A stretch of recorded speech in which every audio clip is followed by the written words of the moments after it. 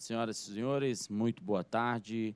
É, estamos retomando aqui a nossa 43ª reunião pública ordinária da diretoria, também com quórum de quatro diretores, aptos a deliberarem os itens remanescentes da pauta pela manhã, 18, 3, 19, 20 e 22. Senhor secretário-geral, solicito que retome a reunião e chame o próximo item da pauta.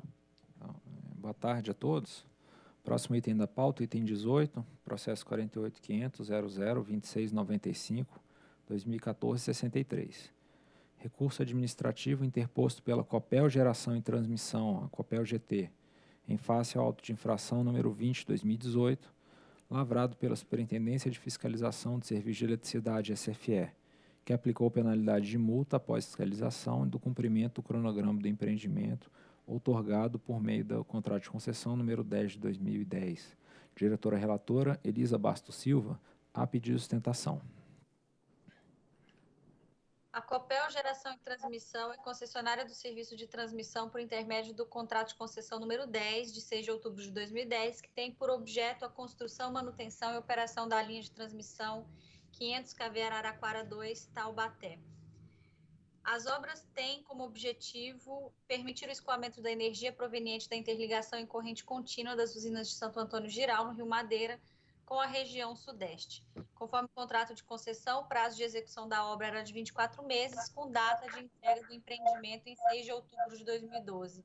Adicionalmente, em 9 de agosto de 2011, foi publicada a Resolução 3028 de 2011, autorizando ampliação e reforços nas instalações de transmissão com circuito duplo no trecho de 5,5 quilômetros da linha de transmissão em 500 kV, é, na chegada até Taubaté, com base no ofício 98 de 2011 e na consolidação de obras de rede básica no período 2011 e 2013. Conforme indicado no referido ofício, a implantação de reforços em instalações de transmissão sob responsabilidade da COPEL são importantes para evitar a descontinuidade de suprimento na região sul, nas regiões Sudeste e Sul. A SFE realizou diversas fiscalizações com o objetivo de verificar o cronograma de implantação do referido empreendimento de outorga, a COPEL, constituído pela linha de transmissão é, já citada e dos demais equipamentos associados. No relatório de fiscalização 17 de 2017, foram apontadas cinco não conformidades apresentadas à distribuidora mediante o TN 17, emitido em 19 de abril de 2017. A primeira fiscalização foi realizada no período de 5 a 9 de maio de 2014, na, na qual foram re, registradas quatro constatações e uma não conformidade constante do relatório de fiscalização 126, parte integrante do termo de notificação 106, emitido em 2014. Apesar do atraso na entrega da obra já ter sido evidenciada nessa fiscalização após a apresentação das contrarrazões da COPEL, e considerando que durante tal fiscalização ainda se encontravam pendentes questões fundiárias e o empreendimento não possuía licença de instalação, a SFE decidiu pelo arquivamento do TN 106 de 2014 por meio do termo de arquivamento número 3 de 2016. A SFE realizou nova fiscalização no empreendimento no período de 2 a 4 de agosto de 2016. Foram registradas três constatações e duas determinações constantes do relatório de fiscalização número 62 de 2016, parte integrante do TN 57 de 2016, emitido em 15 de agosto. Como conclusão dessa fiscalização, a SFE indicou atraso de 1.398 dias para entrada em operação comercial do empreendimento e informou a concessionária da realização de fiscalização mais abrangente, dado que a data de entrada em operação do empreendimento ainda estava indefinida. A COPEL se manifestou acerca dessa fiscalização por meio de carta sem número em setembro de 2016. Em razão da necessidade de fiscalização mais abrangente, a SFE, por meio do, do TA 71, arquivou o, te, o termo de notificação 57. Desse modo, de 6 a 8 de novembro de 2017, a SFE realizou a última ação fiscalizadora no empreendimento motivo do recurso ora apreciado. Na referida fiscalização foram registradas três constatações e uma não conformidade constantes do relatório de fiscalização 57 de 2017, parte integrante do termo de notificação 56 de 2017. A não conformidade N1 refere-se ao não atendimento pela COPEL da data de 6 de agosto de 2012, fixada na primeira subcláusula da cláusula segunda do contrato de concessão número 10, para entrada em operação comercial da linha de transmissão. A COPEL se manifestou ao termo número 56 por meio de carta sem número em dezembro de 2017. Em 17 de janeiro de 2018, a SFE encaminhou ofício 13 para o ONS, solicitando análise e parecer quanto aos impactos no SIM decorrentes do atraso para a entrada em operação do empreendimento em tela, enfatizando sobrecargas em regime normal e em contingência, possibilidade de cortes de carga, dificuldades para controle de tensão, restrição de despachos de usinas e outras informações julgadas necessárias. O ONS respondeu ao ofício 13 por meio da Carta 56. Por não acolher as justificativas apresentadas pela COPEL ao referido termo de notificação, em junho de 2018, a SFE lavrou o auto de infração número 20 de 2018, com a aplicação da penalidade de multa do grupo 3 no valor de R$ 577.056,77. A COPEL encaminhou recurso administrativo em face do auto de infração número 20 por meio de carta sem número protocolada nesta agência em 27 de julho de 2018. A SFE, em juízo de reconsideração, resolveu manter a penalidade de multa no valor de R$ 577.056,77 e encaminhou os autos do processo para avaliação final da diretoria colegiada. Na sessão de sorteio público número 36, realizada em 10 de setembro de 2018, o processo foi distribuído ao diretor Rodrigo Limpe Nascimento. Em 4 de outubro de 2018, foi re realizada a reunião entre o relator e os representantes da COPEL. A Procuradoria Federal junto ao ANEL manifestou-se no processo por meio do parecer 555 de dezembro de 2018 e em fevereiro de 2019 a COPEL, por meio de carta, contesta a análise da Procuradoria, defendendo os argumentos do recurso e pede nova avaliação da Procuradoria. Após a exoneração do diretor Rodrigo Limpo Nascimento, o processo foi a mim redistribuído na 11ª sessão de sorteio público ordinário, é o relatório. A sustentação oral será feita pelo... Microfone, pessoal. A sustentação oral será feita pelo senhor Yuri Tissi, representante da Copel Geração e Transmissão.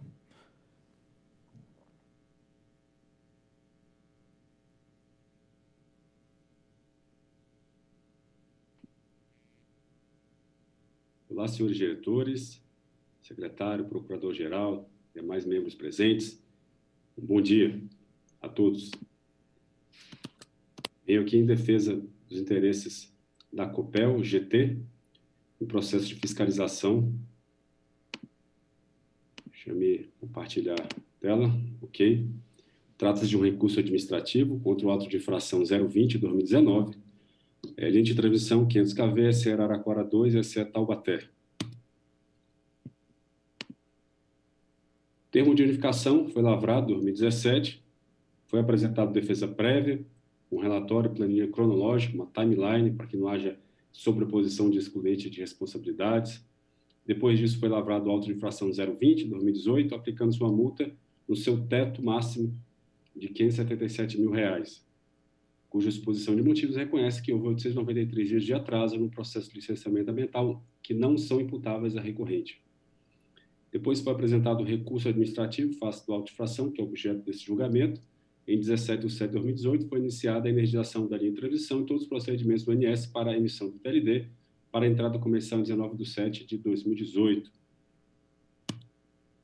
As cláusulas 3.14 e 3.16 do Estado de Leilão trazem a questão da excludente de responsabilidade, dizendo claramente que o descobrimento dos marcos intermediários no cronograma de construção, motivados por ocorrência no processo de licenciamento ambiental, não imputáveis à transmissora, desde que justificados e aceitos pela fiscalização do ANEL, poderá ocasionar revisão dos prazos do cronograma. E depois, ali embaixo, destaco, decorrentes de embargos administrativos ou judiciais quanto ao uso da faixa de supervisão da linha de transmissão, que comprometam os prazos da execução. Esse ponto é extremamente importante, porque vamos ver mais à frente onde isso se aplica. O auto de infração 020 considerou ser a relação entre o concessionário e a CETESB regida pelos prazos do Decreto Estadual de São Paulo 47400. Premissa esta válida quanto à relação jurídica entre o órgão ambiental e terceiros. Todavia, a relação que, se, que se tem hoje entre a concessionária e a ANEL, ela está delimitada aos prazos previstos no contrato de concessão assinado entre as partes, onde há um cronograma de obras a ser executado, cujo tempo para execução das obras e os marcos intermediários são definidos unilateralmente pelo poder concedente. Trata-se de contrato de adesão. A ANEL deve considerar somente os prazos previstos, então, nesse cronograma definido no contrato de concessão para analisar, as excludentes de responsabilidade. Isso não foi feito. Houve falha no planejamento. Segundo os prazos do decreto estadual 47, poderia demorar até um ano e oito meses para emissão da LI. Esse prazo, inclusive, foi superado, né, em 893 dias, reconhecido já por essa agência. Restaria a concessionária o exíguo prazo de quatro meses para concluir todos os estudos, iniciar e concluir as obras, obra, o que é manifestamente inexequível. Houve falha, então, no planejamento é, sobre o prazo para conclusão das obras. Essa concepção equivocada é responsabilidade exclusiva do poder concedente, né? E, e, merece o destaque dos acordos 29 e 993 do TCU, que apontam graves falhas no planejamento e atrasam 83% de todas as linhas de transmissão licitadas à época. Então, por conta disso, acatando as determinações do TCU, para os editais de leilão seguintes, houve aumento significativo nos prazos de execução de obras de transmissão, como, por exemplo, o edital do leilão 05 2016, que se seguiram, que prevê de 5 a 6 anos para construção de obras desse porte. A fim de demonstrar e comprovar os fatos que ensejaram demora no início das obras, a linha de transmissão apresentou um minucioso relatório técnico, quanto da defesa prévia. O contrato de concessão definiu o prazo de 60 dias para o órgão ambiental emitir o termo de referência, mas este demorou 220 dias totais. Isso não foi considerado na fiscalização. Depois, as diversas prefeituras municipais de Campinas, Araras, Limeira e Taubaté se opuseram quanto à passagem da linha de transmissão. A linha atravessa dois assentamentos do INCRA, uma região de Mata Atlântica, área, então, seu processo de tombamento histórico, é, artístico, né, de São Paulo, Conselho de Defesa do Patrimônio, histórico também, 11 unidades de conservação, dos quatro sete são áreas de proteção ambiental, APAS, distribuídos ao longo de 23 dos 28 municípios atingidos, ou seja, uma área extremamente complicada para o licenciamento ambiental. A SFE sustenta que o prazo para emissão da LP é 365 dias, conforme o decreto estadual, mas no contrato de concessão é 60 dias. Então, exigir um prazo é, diferente é violar o próprio contrato de concessão. Após a análise do EIA-RIMA, então apresentados com os pareceres favoráveis pela FUNAI, IFAM e Fundação Cultural Palmares, audiência pública, a CETES encaminhou a informação técnica, resultando informações adicionais para a emissão da LP, contido um termo de referência, ou seja, mais excludente de responsabilidade.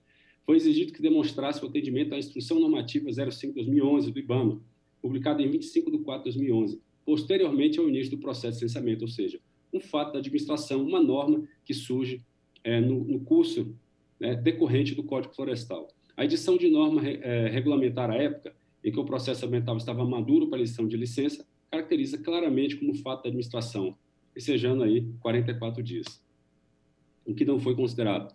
Depois, o prazo previsto no contrato de concessão entre a LP e o protocolo é de 30 dias. É, como a LP foi emitido 24 de 8, né, e o protocolo de solução da LI ocorreu em 1 de 4 de 2013, o prazo foi de 220 dias. O excessivo rigor adotado pelo órgão ambiental contra o terror das condicionantes atrasou em 190 dias a obtenção da LI. O período total para emissão de todas as licenças de instalação para o empreendimento foi de 1.225 dias. E, cruzando o prazo de 60 dias, houve um atraso de 1.165 dias, o que não coaduna com os 893 dias já reconhecidos. As solicitações de prorrogação do prazo das CETEBs foram impactadas pela morosidade do processo de obtenção das autorizações de outros órgãos públicos para instrução de servidão, INCRA, FEPAS, SPU, IBAMA, IFAM, entre outros, em detrimento de exigências realizadas pelo, pelo órgão ambiental, o qual passou a exigir da concessionária a necessidade de comprovar acordo amigável com os proprietários de terra ou a judicialização de 100% das propriedades a serem instruídas em servidões para passagem da LT, ou seja, algo novo que não é comum o órgão ambiental exigir para a emissão da licença o ajuizamento de todas é, é, ações ou acordo amigável. Né? É claro, sem a licença fica até complicado para você conseguir a DUP, você conseguir realmente um acordo amigável. Então, praticamente, todas as propriedades foram judicializadas por conta dessa imposição para obtenção, da, para solicitar a LI. Com isso, o impasse para obtenção somente foi superado em 7 de 8 de 2015, quando a recorrente, DENIT e SPU firmaram o termo de compromisso a anuência para a passagem de LT naquela área pública, né, requisito indispensável para a emissão da LI. Em suma, os atrasos foram os seguintes, né? Está aí listado os atrasos, e merece também é, destaque a necessidade de anuência de supressão de vegetação ASV na Mata Atlântica pelo IBAMA, uma vez que seu processo administrativo junto àquela autarquia foi confuso e demorado. Portanto, a, a empresa tinha que peticionar no órgão estadual para que ele enviasse a petição para o órgão federal e voltasse e seguisse todo esse trâmite burocrático. Isso acabou trazendo um grande impacto ambiental é, de, de, prazo. É, além disso, as comunicações do IBAMA eram feitas através das CETEPs, conforme dito. Né? As complicações foram todas devidamente apresentadas e comprovadas à ANEL. É, e a duração, então, foi de 1.335 dias, até a emissão da última anuência. Dessa forma, requer-se o reconhecimento de 1.161 dias como excludente para, é, de responsabilidade para emissão da LI, e nos processos fundiários, destaco, houveram diversas revogações da emissão na posse já deferida, por conta desses quase cinco anos que demoraram para a emissão da LI. Ou seja, pela demora, o judiciário entendeu que não havia mais interesse, urgência na liminar. Todas elas foram cassadas, as emissões já deferidas tiveram que ser é, restauradas por meio de, do Tribunal de São Paulo, um dos mais demorados do Brasil, dado é, a quantidade de habitantes naquele estado.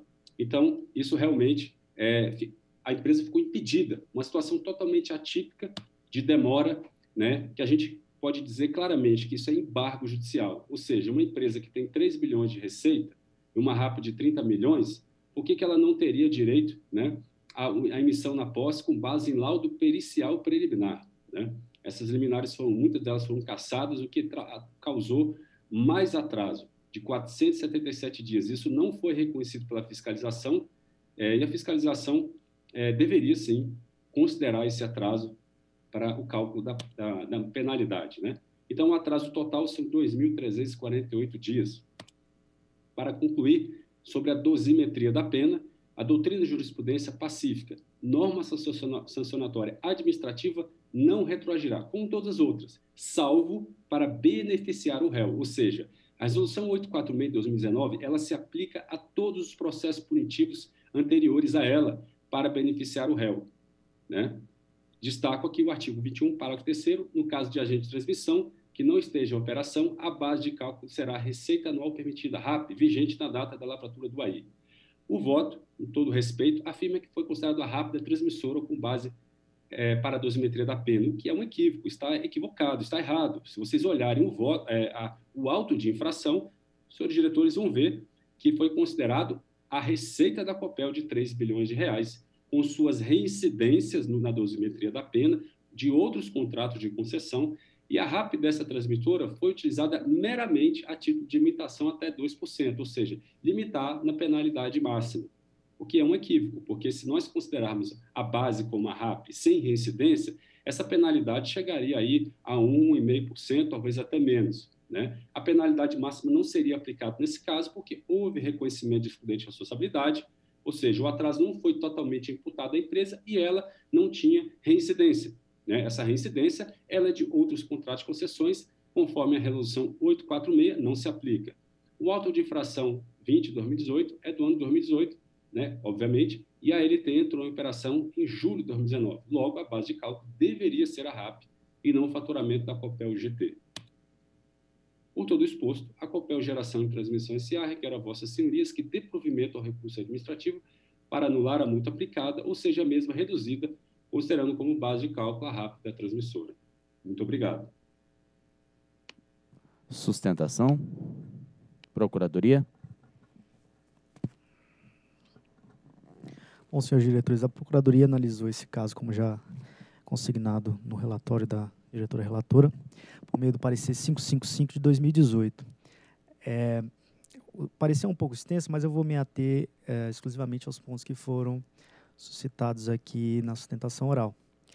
É, em relação a esse, essa suposta falha de planejamento em estabelecer um prazo inexequível para a conclusão das obras, o que é o que é mistério observar é que esse prazo ele já constava da minuta de contrato de concessão que foi levada a é, que, que, integrava o edital que foi lançado para para essa para esse empreendimento Então, houve uma aceitação do, do agente em relação àquele prazo que foi, que foi uh, estabelecido no edital.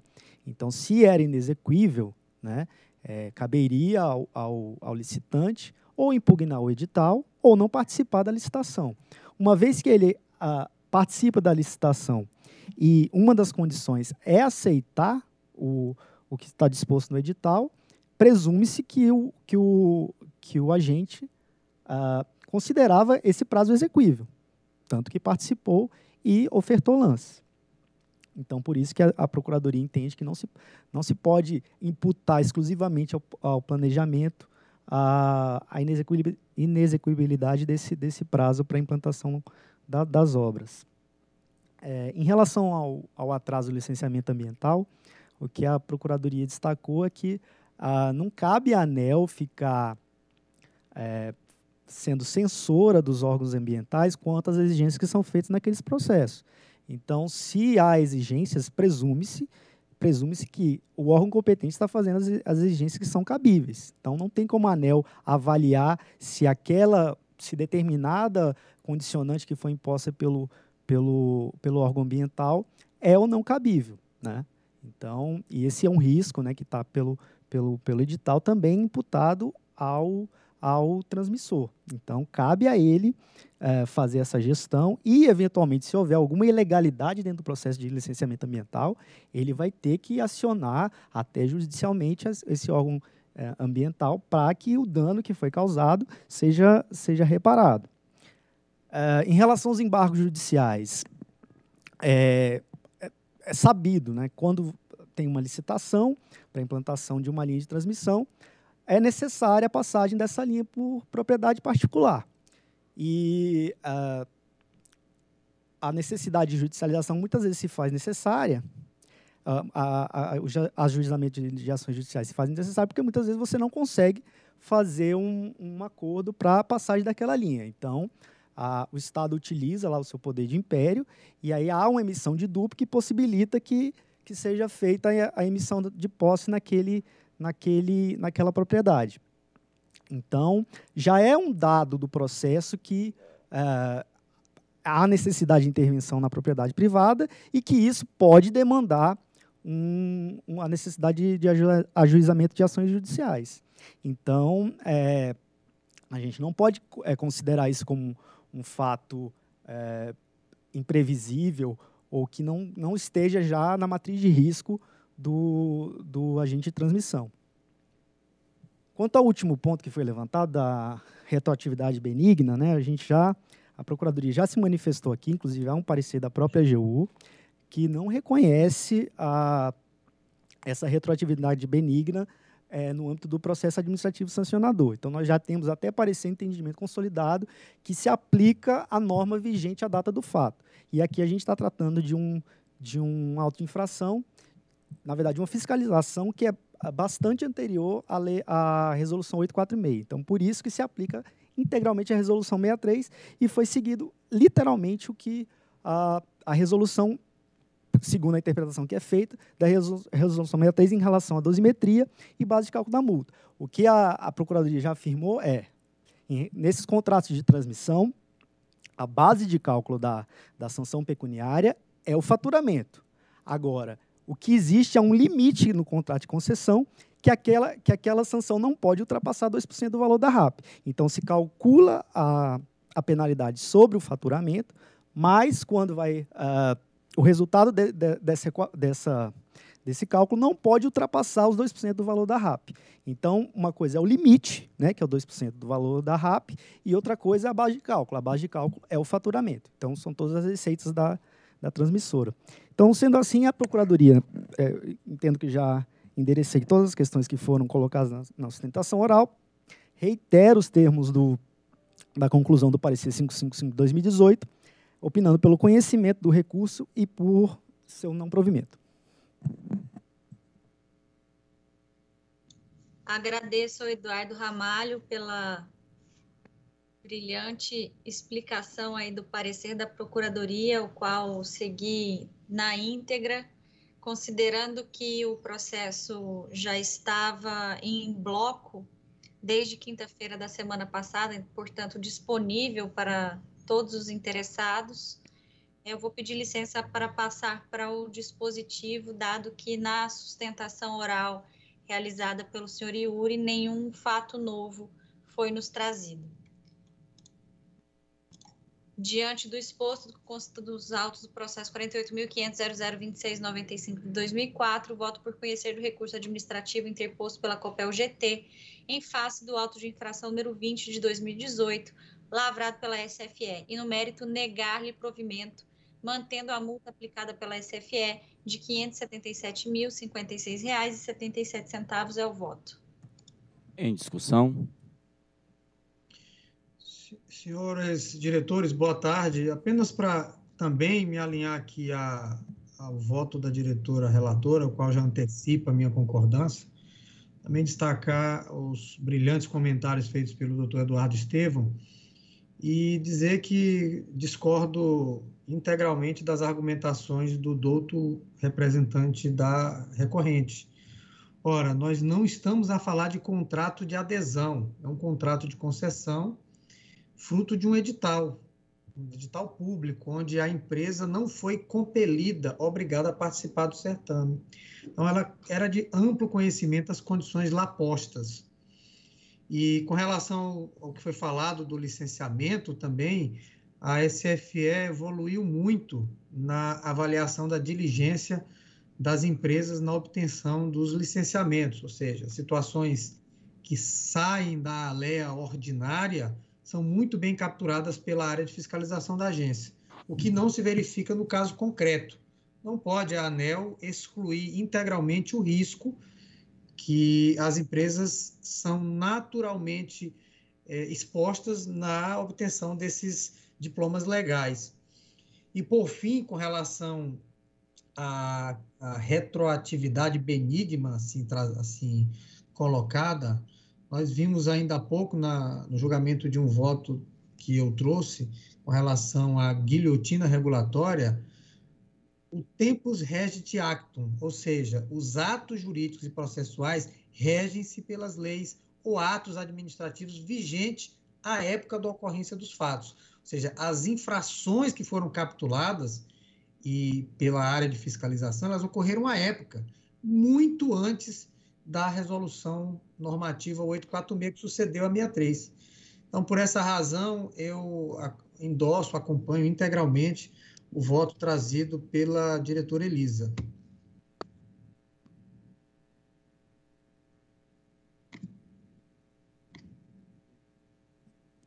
Em votação.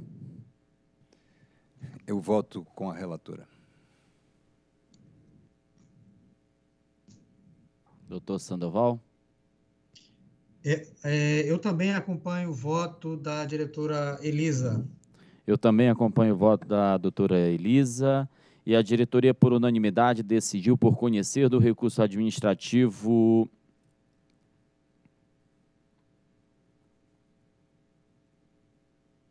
Só um pouquinho, senhores.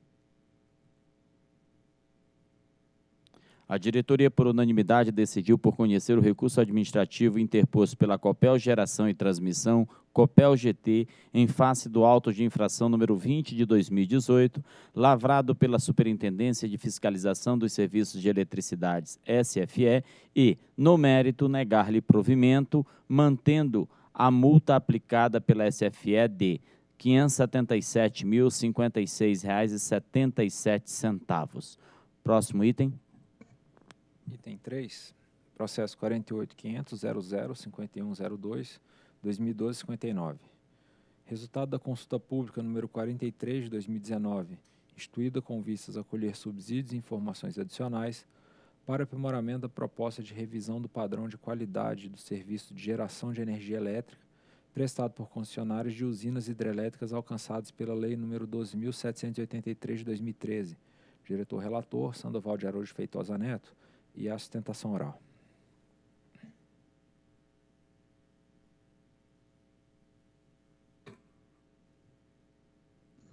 Obrigado, senhor secretário-geral.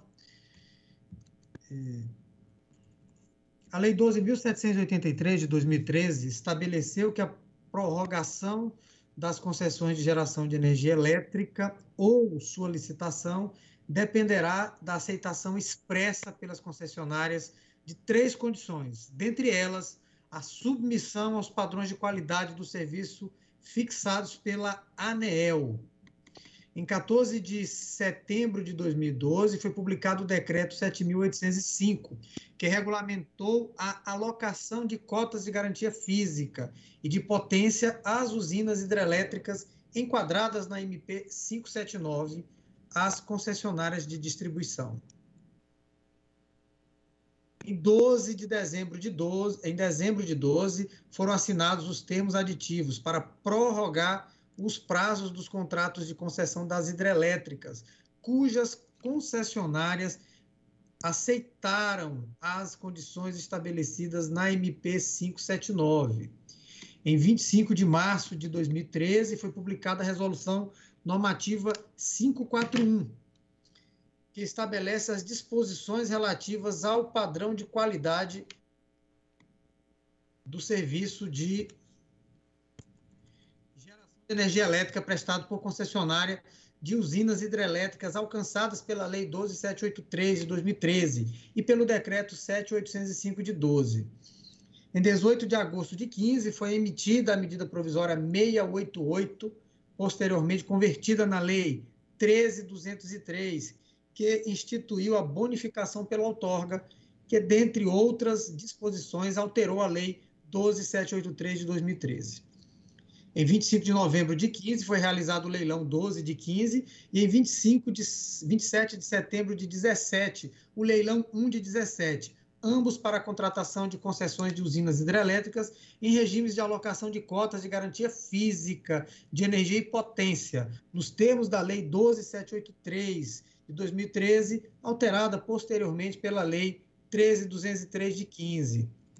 A portaria MME 178 de 17 definiu os valores revisados de garantia física de energia das usinas hidrelétricas despachadas centralizadamente no Sistema Interligado Nacional, incluindo as usinas em regime de cotas, com validade a partir de 1 de janeiro de 2018.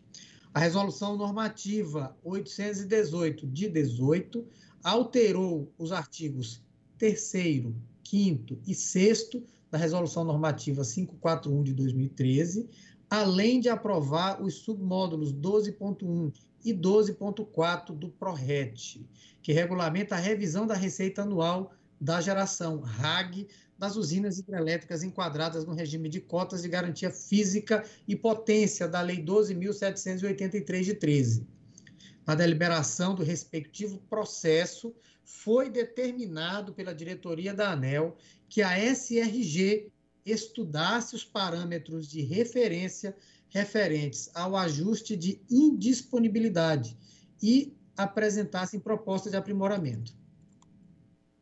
Em 23 de outubro de 19, foi emitida a nota técnica 105, propondo a abertura de consulta pública para acolher subsídios para emissão de normativo que disciplina o padrão de qualidade do serviço de geração de energia elétrica prestado por concessionárias de usinas hidrelétricas alcançadas pela Lei 12783 de 13.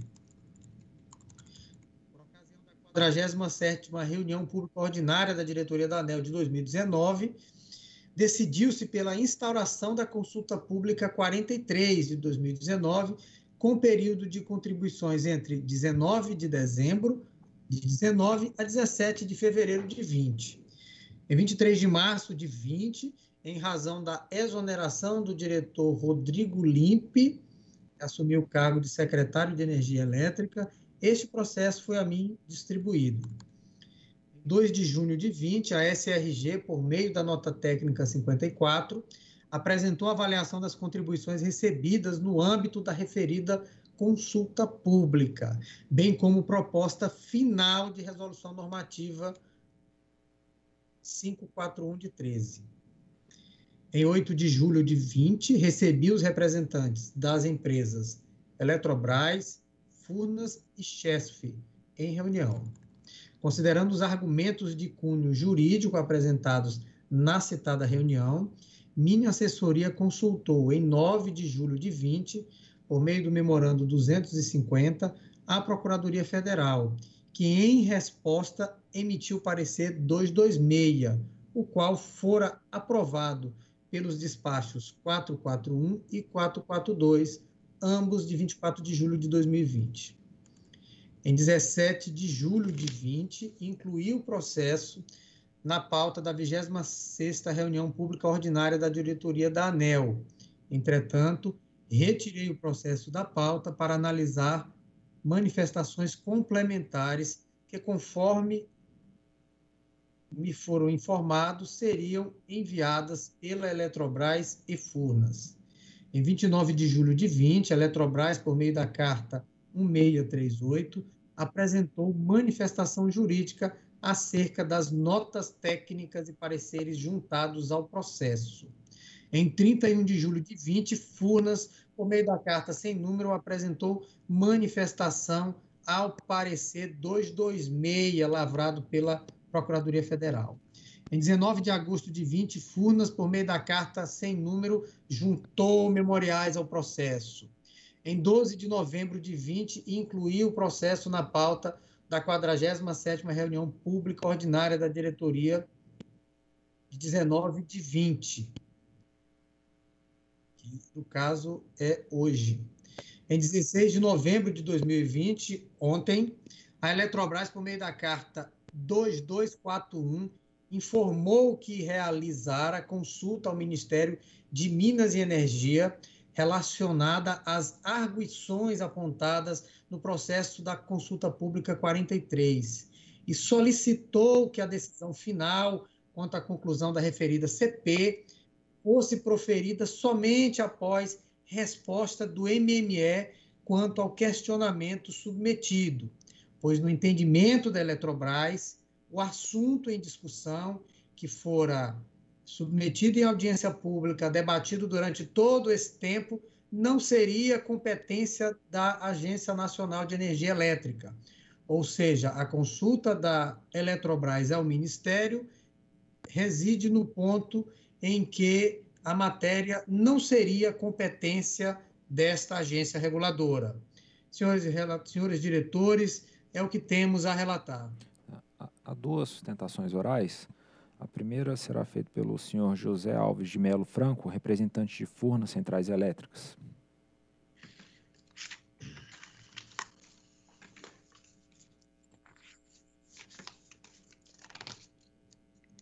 Cumprimentando a diretoria da ANEL por essa oportunidade de falar nessa reunião pública sobre um tema bastante delicado e com um impacto muito grande para os geradores cotistas nós que renovamos nosso contrato de concessão baseado em regras claras que foram colocadas naquela época, inclusive regras essas aprovadas em nota técnica, quando da assinatura, em nota técnica da ANEL, e depois transformadas em resolução.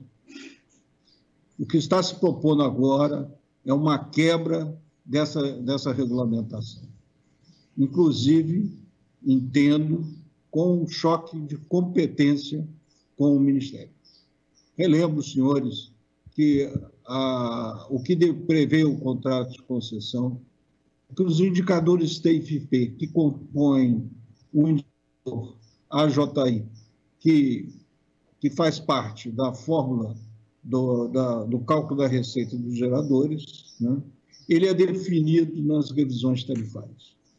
Temos aí farta é, contribuição com pareceres jurídicos, mostrando todo esse como se encaminhou toda essa questão. O fato é que isso foi calculado na última revisão tarifária em 2018 e a próxima é 2023, conforme prevê a regra estabelecida na lei e nos decretos. O Ministério de Minas e Energia, inclusive, tem consulta pública aberta sobre esse tema para subsidiar é, a metodologia que vai ser aplicada nessa revisão de garantia física em 2023. Não cabe à ANEL agora, de forma extemporânea, e é, vir tratar de um tema que afeta o, o direito adquirido né, nos contratos de concessão. Sem que, sem que aditivos sejam submetidos, porque não se pode ter uma mudança unilateral. Aliás, a mudança unilateral proposta por um regulador é o que traz mais insegurança aos investidores e afasta os investidores do país. Portanto, senhores, esse tema tão delicado, tão importante, não pode ser tratado da forma que for. Inclusive com avaliação sobre a usina de Furnas, no período que a usina de Furnas encontrava em manutenção para modernização, utilizando indicadores é, de TFP de Furnas, quando Furnas estava em pleno processo de modernização e chegando a indicadores que não representam o desempenho da usina, como pode ser visto claramente nos dados anterior à modernização e posterior à modernização. Então, inclusive, usando dados incorretos para tomada de, de, de decisões né, e conclusões que não representam a realidade operacional do sistema. Por isso, senhores, nesse momento aqui só nos resta solicitar aos diretores que, dado uh, esse conflito de competência, já que a competência para rever esses indicadores e o novo cálculo da garantia física é do Ministério, que, que, que reflitam melhor e mais profundamente sobre essa questão e retire esse processo de pauta para uma avaliação mais segura, correta, trazendo tranquilidade ao setor que investe tanto nesse país, que vem crescendo, que vem cumprindo as suas obrigações, que vem melhorando seu desempenho e que vem constituindo aí numa fortaleza da recuperação econômica do Brasil. No momento de pandemia, onde todos, todos os investimentos têm sido alterados, o setor elétrico tem mantido seus investimentos, né? como a gente vai ver no próximo leilão de transmissão. Mas isso requer confiança, e confiança que, que tem que se, se conquistar todos os dias. Solicitamos a essa diretoria, portanto, que retire de pauta esse, essa decisão e a postergue para aprofundamento dessas questões que têm sido levantadas, dando ênfase na competência do Ministério de Minas de Energia. Nos parece que temos aí um claro conflito de interesse e competência entre os órgãos de, da agência e, e o Ministério de Minas e Energia.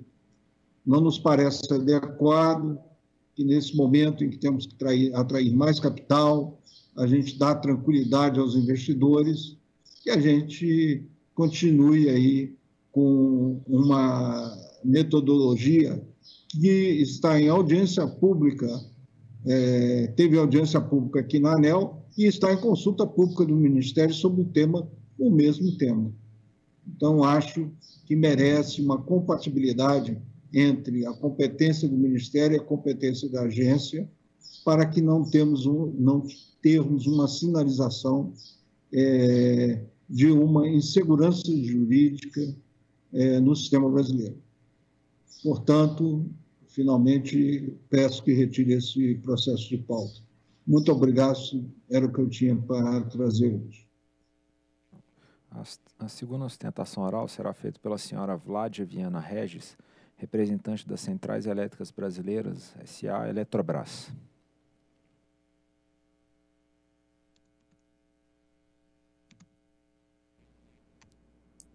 Senhores diretores, demais participantes dessa reunião pública ordinária da diretoria da ANEL, agradeço a oportunidade de apresentar as contribuições da Eletrobras à consulta pública 43 de 2019 através dessa sustentação moral.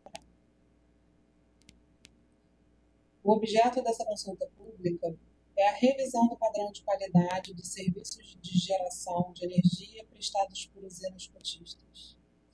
A nota técnica de abertura propõe que, ao invés da aplicação dos valores de referência de TFP indicados pela Portaria 178 de 2017 do Ministério de Minas e Energia, editada por ocasião do processo de revisão de garantia física ordinária das usinas, seja aplicado o anexo 1 do contrato, que contém os valores de TFP vigentes no momento da assinatura desses instrumentos.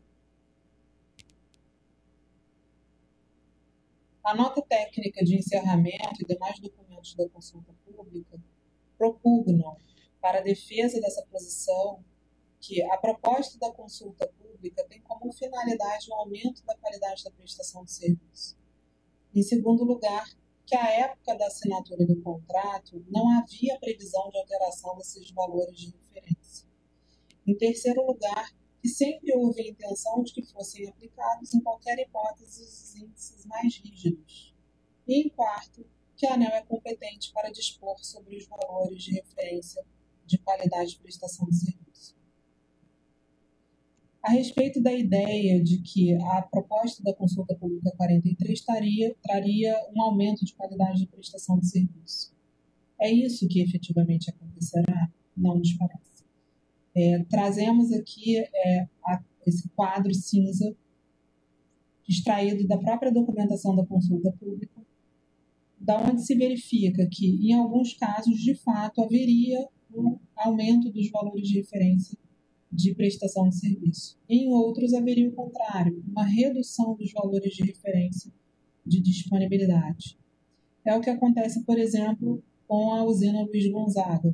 Trazemos aqui o gráfico representativo. Essa usina teve, com a Portaria 178 de 2017, uma elevação significativa da disponibilidade de referência. Aplicando-se a proposta da CPR 43, com ela haveria um efeito inverso, de redução da disponibilidade de referência. Por outro lado, é importante dizer que, mesmo nos casos em que houve redução da disponibilidade de referência, é, as usinas vêm performando acima da qualidade de prestação de serviço determinada pela Portaria 178 do Ministério. É o caso da UHE Furnas e de Paulo Afonso, que vem performando acima, inclusive, dos valores de referência do anexo 1. Ou seja, caso introduzida a norma, já haveria essa qualidade de serviço adequada. Então, o que se verifica é que o sinal regulatório para a qualidade de prestação de serviço já foi dado e vem sendo atendido pelas usinas e que a proposta, de fato, não traria um aumento de qualidade de prestação, porque em muitos casos teria o efeito inverso. A documentação aduz ainda que não havia expectativa de que houvesse alteração dos índices de disponibilidade. Mas o que previa o contrato? O contrato previa exatamente que houvesse essa alteração e que, caso ocorresse, quando ocorresse, fossem considerados os novos valores de referência de TFP. É, o que previa a regulamentação, ou o que prevê a regulamentação? O artigo 21, parágrafo 5 do decreto 2655, prevê exatamente que haja revisão ordinária de garantia física a cada cinco anos, ou seja, há uma previsibilidade de revisão de, de garantia física e, portanto, de alteração dos valores de TFP que são modificados nesse contexto de revisão de garantia física. É, o que previa a nota técnica 82 de 2012 da SRG, que foi utilizada ou produzida no processo de edição da Resolução 541 que se pretende modificar. A nota técnica previa igualmente que, caso os valores de TFP fossem alterados, seriam eles aplicados para é, referência do padrão de qualidade de prestação de serviço. E o voto do relator, por sua vez, também, no processo da edição da Resolução 541, previa igualmente que, caso os valores de TFP fossem modificados em revisão de garantia física, passariam a servir como referência. E é importante pontuar a existência da nota técnica 68 de 2012, também da SRG, produzida à época de assinatura dos aditivos e da discussão da edição da Resolução 541. Essa nota técnica já verificava que Algumas usinas, o caso, por exemplo, de Furnas e do complexo de Paulo Afonso, naquela época já tinham uma disponibilidade de referência verificada inferior aos valores de referência. E propunha, inclusive, a alteração é, de garantia física e que fosse adotado para tanto, para o cálculo do TFP de referência serem indicados nesse processo, que fosse utilizada a, a disponibilidade verificada, como de fato fez o Ministério, o que é agora criticado na documentação da consulta pública.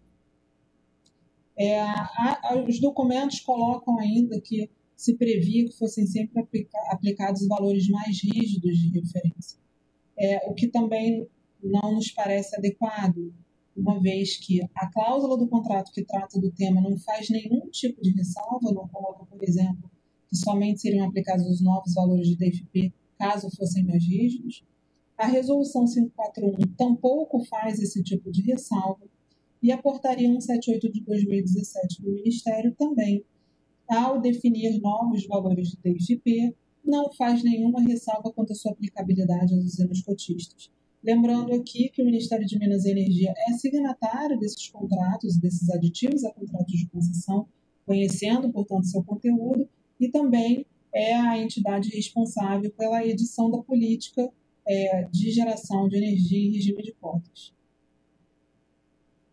Por fim, sobre a competência da ANEL para definir é, os parâmetros de qualidade de prestação de serviço, não se discute essa competência, ela é definida pela Lei 783. O que se é, questiona é qual é o limite para o exercício da competência, considerando os termos já determinados pelo contrato. É, como a cláusula do contrato determina que o critério de qualidade de serviço seja o TFP, é o TFP que deve ser utilizado, sob pena de alteração do contrato. É, devendo, portanto, ser aplicado, como determina o contrato, sempre o valor que vier a ser alterado em revisão de garantia física, não cabendo ao regulador fazer uma escolha entre aquele vigente no momento da assinatura do contrato e o que passa a viger com as alterações propostas pelo Ministério. Lembrando, inclusive, que existe em curso um novo processo de alteração de garantia física através da consulta pública número 82 do Ministério de Minas e Energia, a qual, inclusive, adota o conceito proposto atualmente pela ANEL de que não se utilizem valores verificados de referência quando eles forem inferiores aos valores é, determinados em portaria do MME, e coloca ainda, inclusive, um indicativo de maior rigor nos novos índices que vierem a ser determinados. Então, por tudo que foi aqui colocado, se entende que aplicar a proposta dessa consulta pública seria uma alteração unilateral no contrato, gerando, inclusive, direito a reequilíbrio pelos concessionários afetados, é, o que foi, inclusive, também colocado em parecer jurídico é, de especialista apresentado pela Eletrobras nesse processo. Por todo exposto, então, é, se entende pertinente que seja mantida a redação atual do parágrafo 1 do artigo 2 da Resolução 541, é, em oposição à proposta contida na consulta. Muito obrigada. Procuradoria. Bom, senhores diretores, é, o tema é complexo, mas a Procuradoria analisou ah, por meio do parecer 226 de 2020. É, acho que a discussão já está bem delimitada. O que nós temos aqui, basicamente, é uma situação em que ah, a, o contrato originalmente previa que o padrão de qualidade dessas geradoras estaria atrelado a, aos indicadores TFP que são utilizados no cálculo da garantia física e, ah, de forma assim talvez não prevista, esses indicadores que, num primeiro momento, para algumas usinas, eram um determinado patamar, com a alteração do, do, dos critérios para a definição da garantia física, eles passaram a, a, a ser ah, elevados. Né? Então, as taxas de indisponibilidade elas foram elevadas, consequentemente, reduziu a garantia física lá no cálculo do Ministério, só que, como um efeito rebote, é, considerando que essas eram as taxas utilizadas para a definição do padrão de qualidade, acabou que aquelas usinas é, que tinham uma taxa de disponibilidade é, mais branda, né, mais, mais reduzida, ela teve um afrouxamento da meta, porque a partir do momento que você aumenta a taxa de indisponibilidade, você, é, e esse é o parâmetro, você definiu o, parâmetro, o padrão de qualidade, é, acaba que a meta pra, da indisponibilidade é, é, mais larga. E sendo mais larga, obviamente fica mais fácil uh, atingir a meta de, de, qualidade e até né, a, o agente passa a fazer direito a, uma, a, um, a um bônus de performance. E aí a discussão que se colocou é se era adequado premiar esse agente que teve a redução de garantia física, não por uma melhoria do serviço, mas sim por um afrouxamento da meta.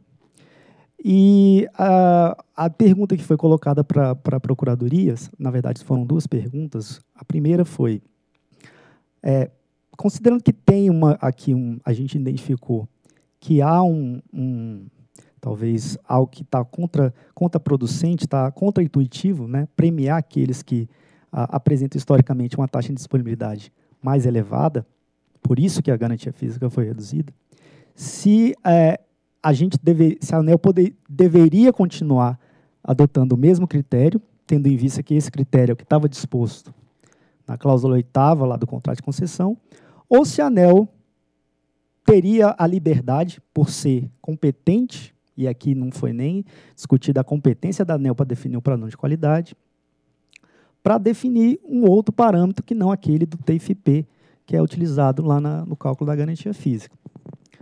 E a Procuradoria, ao responder essa, primeira, essa primeira pergunta, ela entendeu que essa cláusula oitava do contrato de concessão, ela não tem uma natureza de cláusula econômica do contrato. Ela tem uma natureza de cláusula regulamentar. E sendo uma cláusula regulamentar, ela não compõe a equação econômico-financeira do contrato.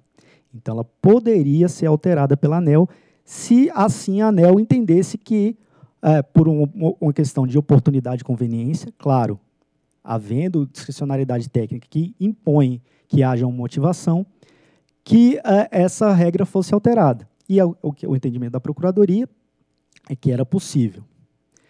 Aí, diante disso, veio uma segunda pergunta, considerando que haverá essa mudança.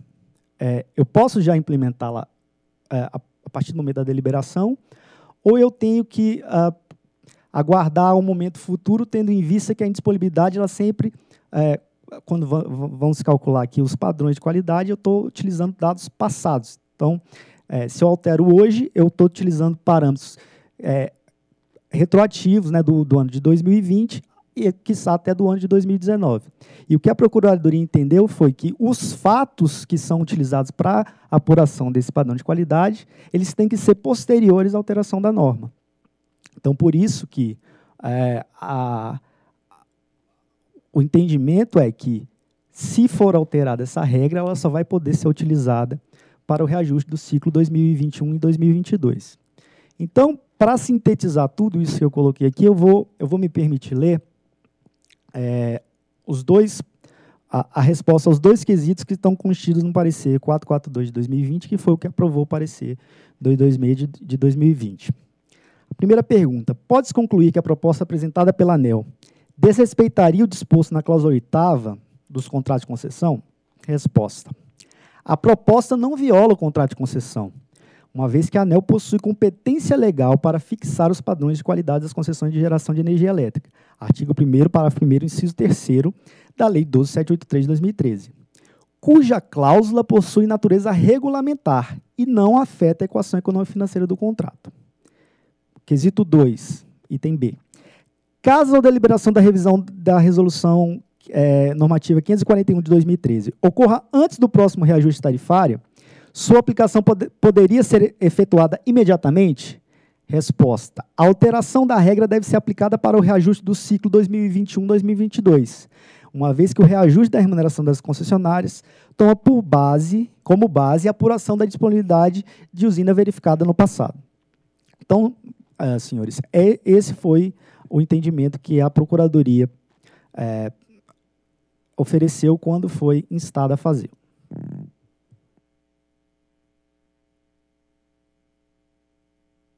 Agradeço a manifestação do doutor Eduardo Estevão.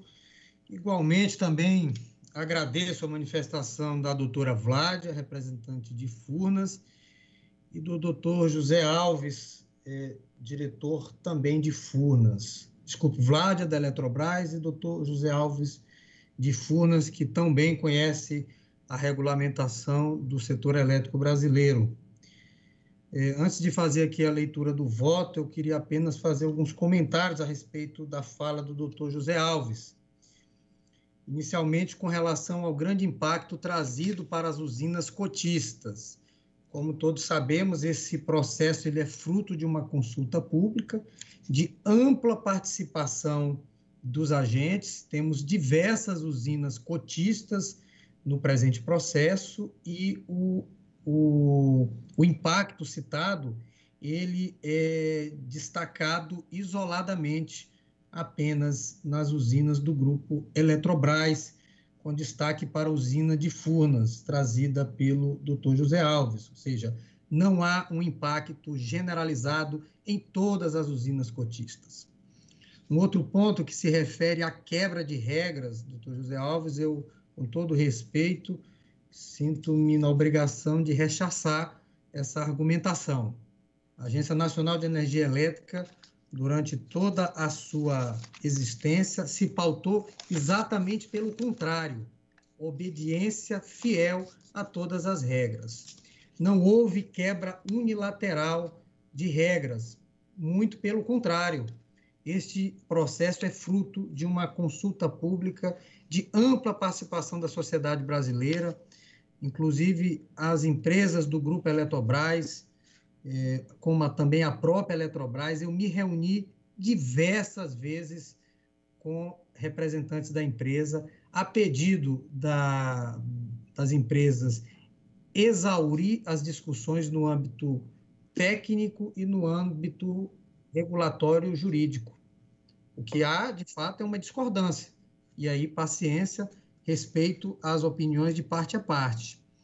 Como o doutor Eduardo Estevão colocou, isso não se refere a uma cláusula é, econômica ou contratual, mas sim uma cláusula regulamentar. A competência da ANEL é inequívoca nessa matéria.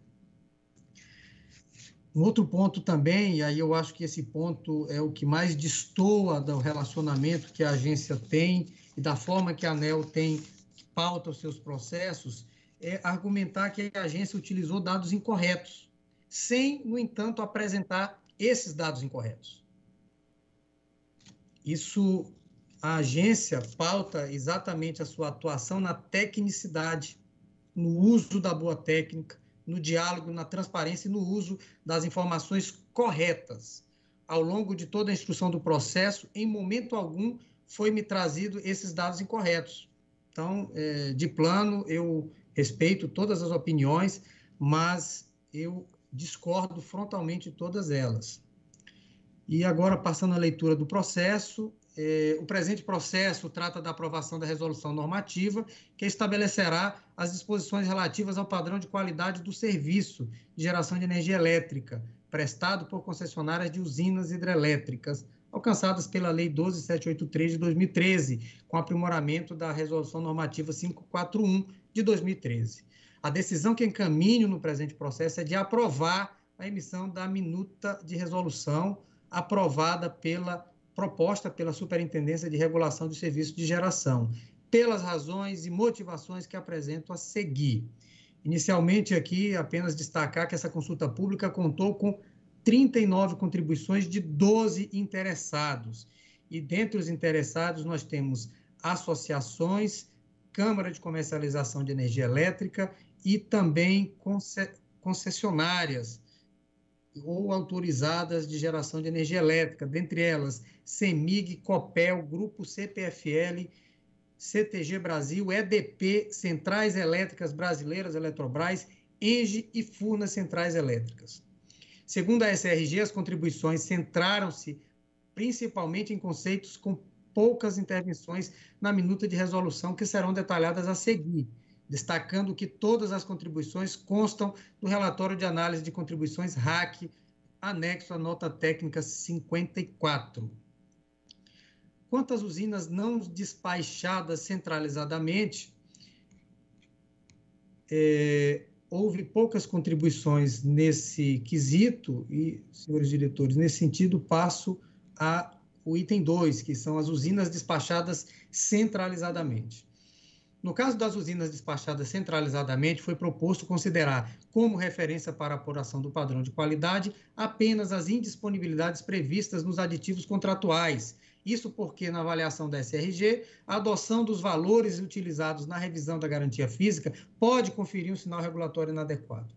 A partir de eventual alteração da referência, usinas que atendiam ao padrão de qualidade podem não mais atendê-lo, meramente pela elevação da referência, e não por queda de performance, e por isso passariam a ser penalizadas. No outro extremo, é o que se concentra a presente discussão, usinas que antes não atendiam ao padrão podem passar a atender devido à redução da referência, e não pela melhoria no desempenho. Nesse caso, passam inclusive a receber bonificações. No entendimento da SRG, ao qual me alinho, não parece adequado que o resultado da avaliação do padrão de qualidade seja influenciado pela mudança da referência e não exclusivamente pela melhoria da performance da usina. Quanto a este ponto em específico, houve concordância por parte da APINE, CCEE COPEL, CTG Brasil, EDP e ENGE, sendo contrárias à proposta Furnas e Eletrobras. A Abrage, Abragel, CPFL e a CEMIG não se manifestaram sobre esse ponto na consulta pública. As contribuições contrárias sustentam que a proposta de alteração do regulamento não respeitaria o disposto nos contratos de concessão. Entretanto, este não é o entendimento trazido ao longo da fundamentação técnica da ANEL, tendo em vista que a cláusula contratual do padrão de qualidade foi concebida num contexto de melhoria constante dos serviços contratados. Quando da assinatura dos aditivos contratuais, o cálculo da garantia física previa utilizar apenas os valores de indisponibilidade de referência do Comitê Brasileiro de Comissão da Comissão de Integração Energética Regional, BRACIER. Posteriormente, com a publicação da 541 de 2013, o MME emitiu a portaria 484 de 14, e quando da celebração dos aditivos contratuais das usinas prorrogadas, foi introduzida a possibilidade de se adotar valores mais elevados de indisponibilidade, ao se prever a utilização do histórico de indisponibilidade como referência para a revisão da garantia física de usinas existentes com mais de cinco anos de histórico.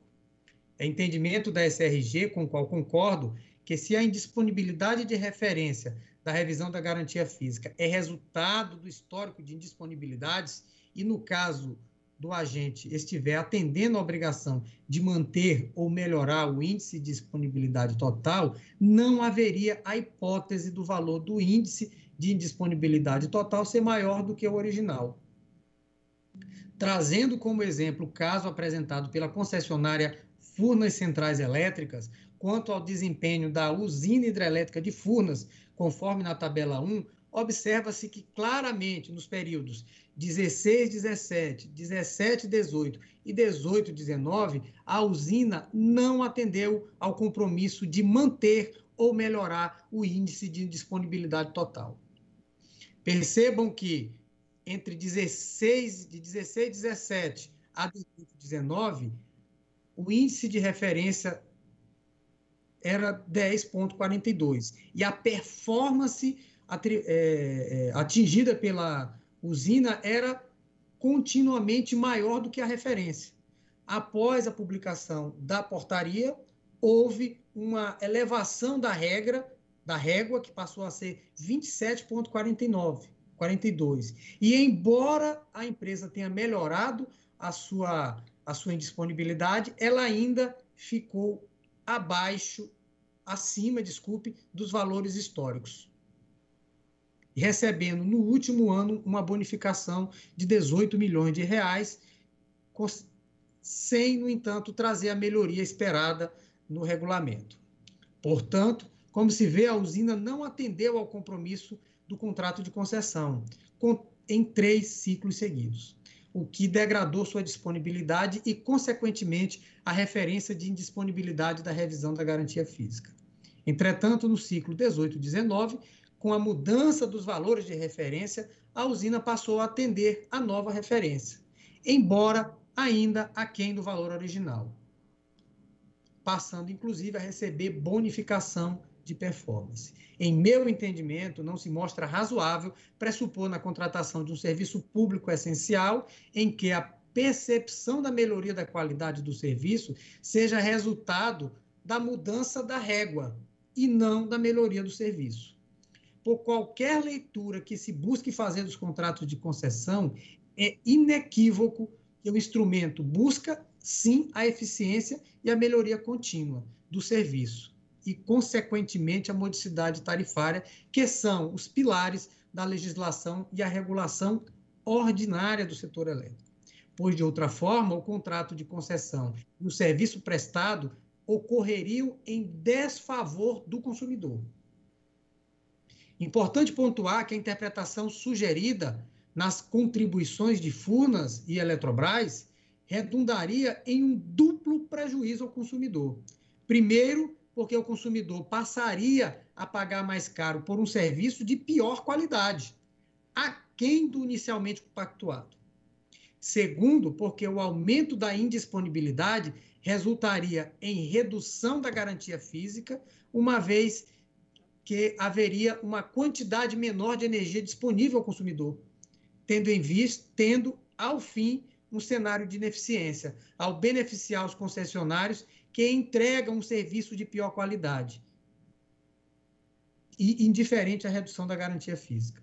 Na mesma linha, a Eletrobras também afirmou em suas manifestações que aplicar outros valores que não aqueles estabelecidos pela portaria MME 178 de 17 representaria, abre aspas, uma subversão da ordem jurídico-regulatória, por deixar de atender o decreto 2655 e a portaria referida.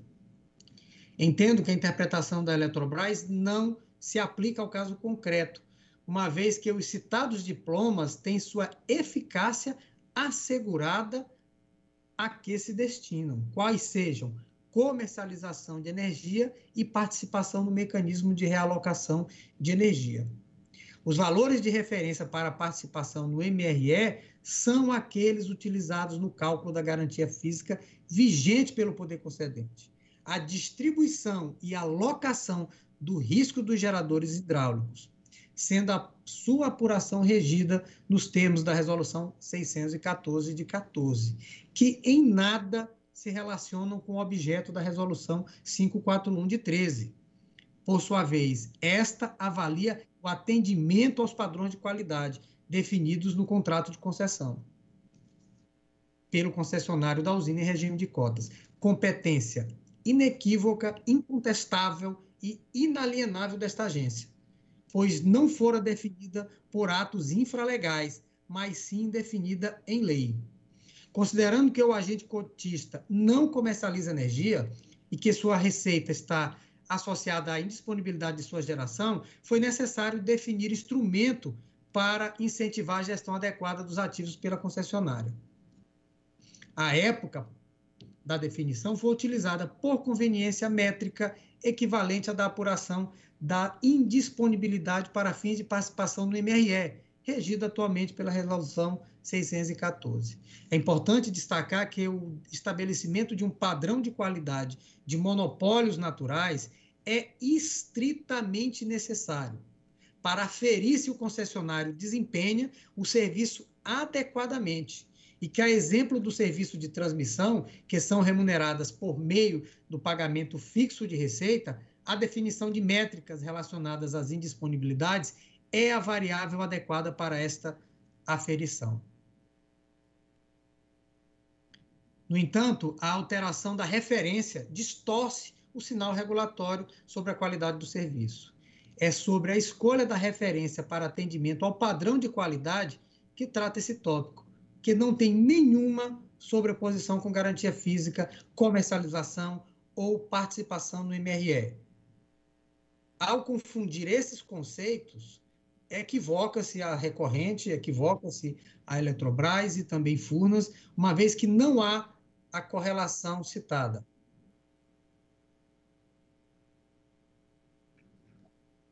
Quanto ao contrato de concessão, ele é inequívoco ao remeter para a ANEL o estabelecimento da, do padrão de qualidade, que é exatamente isso que versou a consulta pública.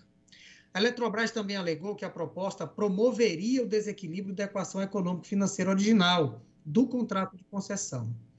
Entretanto, como bem citado, bem defendido pelo Procurador-Geral e que se encontra assentado nos autos do processo e regido nos pareceres lavrados, essa cláusula é uma cláusula regulamentar e não econômica, razão pela qual não assiste o citado desequilíbrio econômico financeiro, nem tampouco a necessidade de aditivo contratual. Além disso, os contratos pontuam que o estabelecimento aos padrões de qualidades deve observar o disposto no contrato e no regulamento da ANEL. O que se pretende revogar é o dispositivo previsto em regulamento, parágrafo 5 do artigo 2 da Resolução Normativa 541, que faz essa vinculação. Repita-se, tal dispositivo foi editado após a assinatura dos contratos. Outra alegação apresentada para o caso específico de Furnas foi de que a disponibilidade da usina carrega o efeito da, de modernizações que não foram expurgadas, não representariam um mau desempenho sistêmico da usina ao longo do tempo. Entretanto, a SRG esclareceu que tal condição não deveria ser justificada para índices inadequados, pois tanto a resolução normativa 614 quanto a 541 prevêem a possibilidade de expurgo das indisponibilidades associadas a modernizações mediante solicitação do agente. Em outras palavras, as paradas para modernização podem ser expurgadas e consideradas na performance da usina. Aproveito neste momento em, em solicitar que Furnas encaminhe esses dados para o Operador Nacional do, do Sistema Elétrico ou para a SRG, que caso haja erro na apuração do indicador, esses erros poderão ser sanados, sem discutirmos o mérito da proposta. Ou seja, a métrica está correta. Se há algum dado de entrada incorreto, o caminho não é invalidar a regra, mas sim corrigir os dados. Nesse sentido, solicito que Furnas remeta os dados considerados corretos sob sua ótica para análise da, para da análise da SRG e do ONS. Sobre esse aspecto, importante salientar que tanto no contrato de concessão das usinas prorrogadas, quanto na resolução normativa 541, havia a previsão de um prazo de três anos para que os agentes, para os agentes que não atendiam aos padrões de qualidade se adaptarem, se adequarem àqueles previstos no contrato. Se mesmo após esse período o agente não conseguiu atender ao padrão contratado, é razoável, esperado, desejado que ele receba a, os sinais regulatórios adequados e, neste caso, desconto na sua receita fixa. Por fim, Furnas mostra que o desempenho das usinas sob sua gestão vem melhorando ao longo do tempo. E nós concordamos com isso. De fato, essa constatação já havia sido sinalizada, sinalizada na nota técnica de abertura da consulta pública, indicando que as medidas adotadas têm sido eficientes, principalmente com a instituição da Receita para Investimento em Melhorias, GAG Melhorias. Contudo, o que se pretende nesse processo é que a aferição do padrão de qualidade seja robusta e a adoção de uma referência que varia conforme o desempenho, não converge com esse objetivo. Considerando alguns argumentos jurídicos trazidos pela Eletrobras e os representantes de suas empresas controladas, solicitei manifestação da Procuradoria Federal junto à ANEL. No parecer juntado aos autos, a Procuradoria opinou no sentido que a proposta apresentada pela ANEL não viola o contrato de concessão, uma vez que a ANEEL possui competência legal para fixar os padrões de qualidade das concessões de geração de energia elétrica, conforme previsto no parágrafo 1 no artigo 1 parágrafo 1 inciso 3 da Lei 12783 de 2013, cuja cláusula possui natureza regulamentar e não altera a equação econômica financeira do contrato. Com relação à vigência da referida norma com vistas à aplicação dos valores de indisponibilidade de referência, a Procuradoria Federal traz manifestação no sentido de que a alteração da regra deve ser aplicada para o reajuste do ciclo 21 e 22, uma vez que o reajuste da remuneração das concessionárias toma como base a apuração de indisponibilidades da usina verificada no passado. Dessa forma, concluo que a regra está adequada e, portanto, proponho a aprovação da resolução normativa, conforme minuta anexa na nota técnica 54 da SRG. Entretanto, trago o entendimento que a aplicação dos novos valores de referência deverá ser aplicada a partir do reajuste do ciclo 21-22.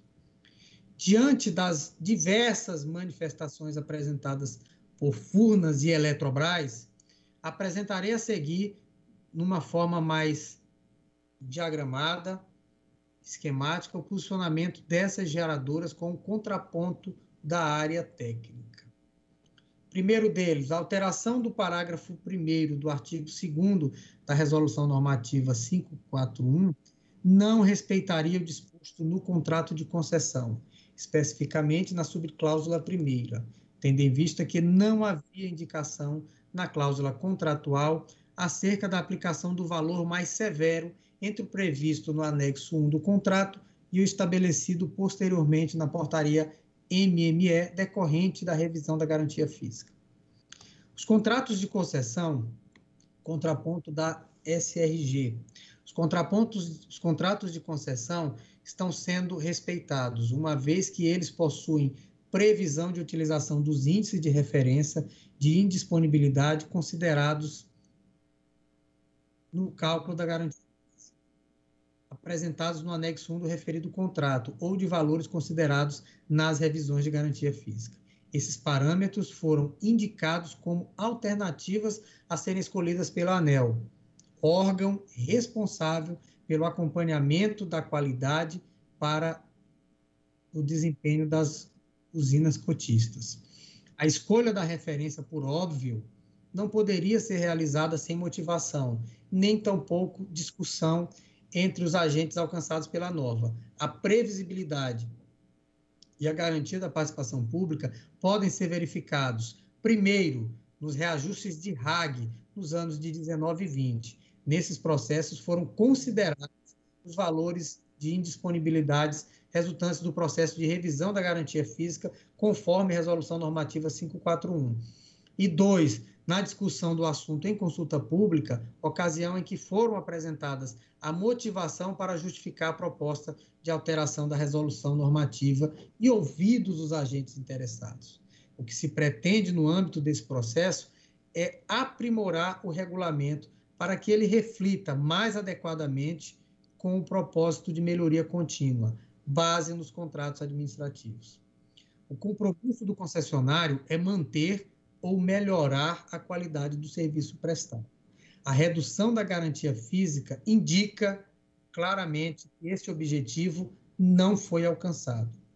Persistindo nessa métrica, o gerador está sendo privilegiado em detrimento do consumidor, que irá pagar mais caro por um serviço de pior qualidade. Não é razoável uma usina degradar sua disponibilidade e beneficiar-se com essa má performance recebendo bonificação. Segundo ponto trazido pelas recorrentes. Alteração do parágrafo 1 do artigo 2 da Resolução Normativa 541 de 2013 subverteria a ordem jurídico-regulatória por deixar de atender o decreto 2655 e a portaria 178 do Ministério de Minas e Energia. Os referidos diplomas possuem esferas de atuação distintas.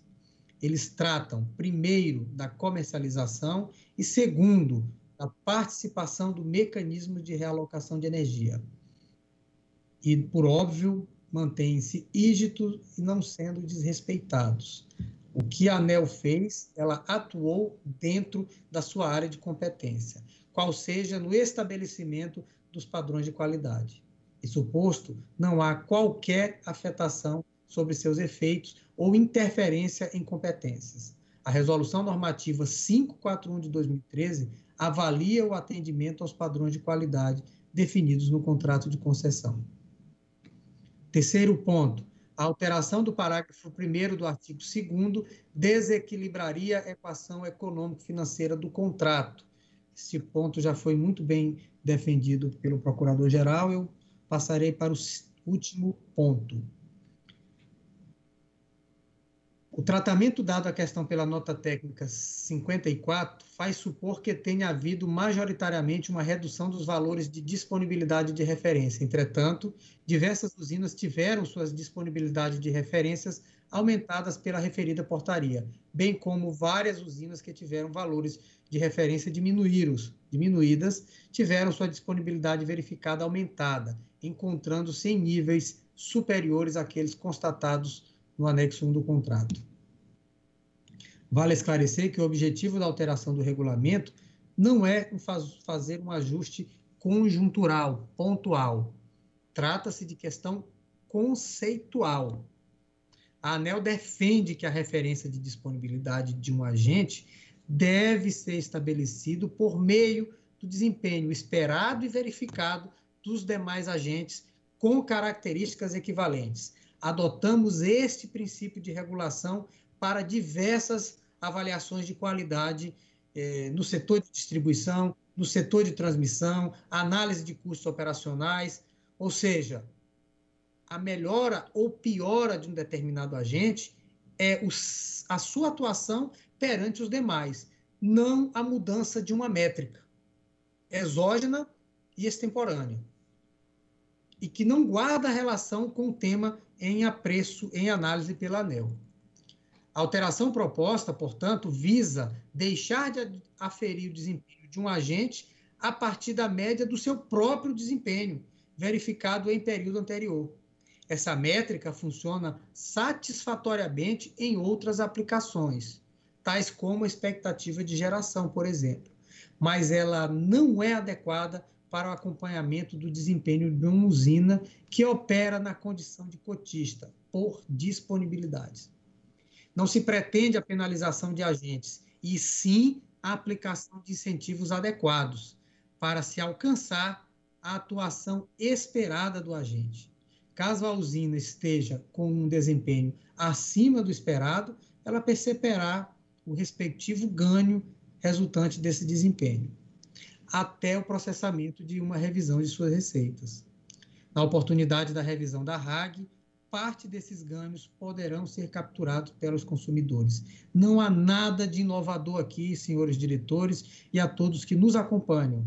A métrica utilizada aqui pra, pela ANEL é a mesma que utilizamos para avaliar a qualidade dos serviços de transmissão, exatamente o mesmo conceito, e também os conceitos associados ao serviço de distribuição.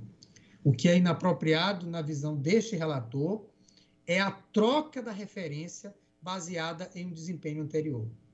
A depender do momento do cálculo, haveria sempre uma tendência de convergência entre o desempenho e a referência. Ou seja, a referência estaria sempre perseguindo o desempenho, o que não é desejável. Se o desempenho é ruim, abaixa-se a referência, de modo que o desempenho fica adequado.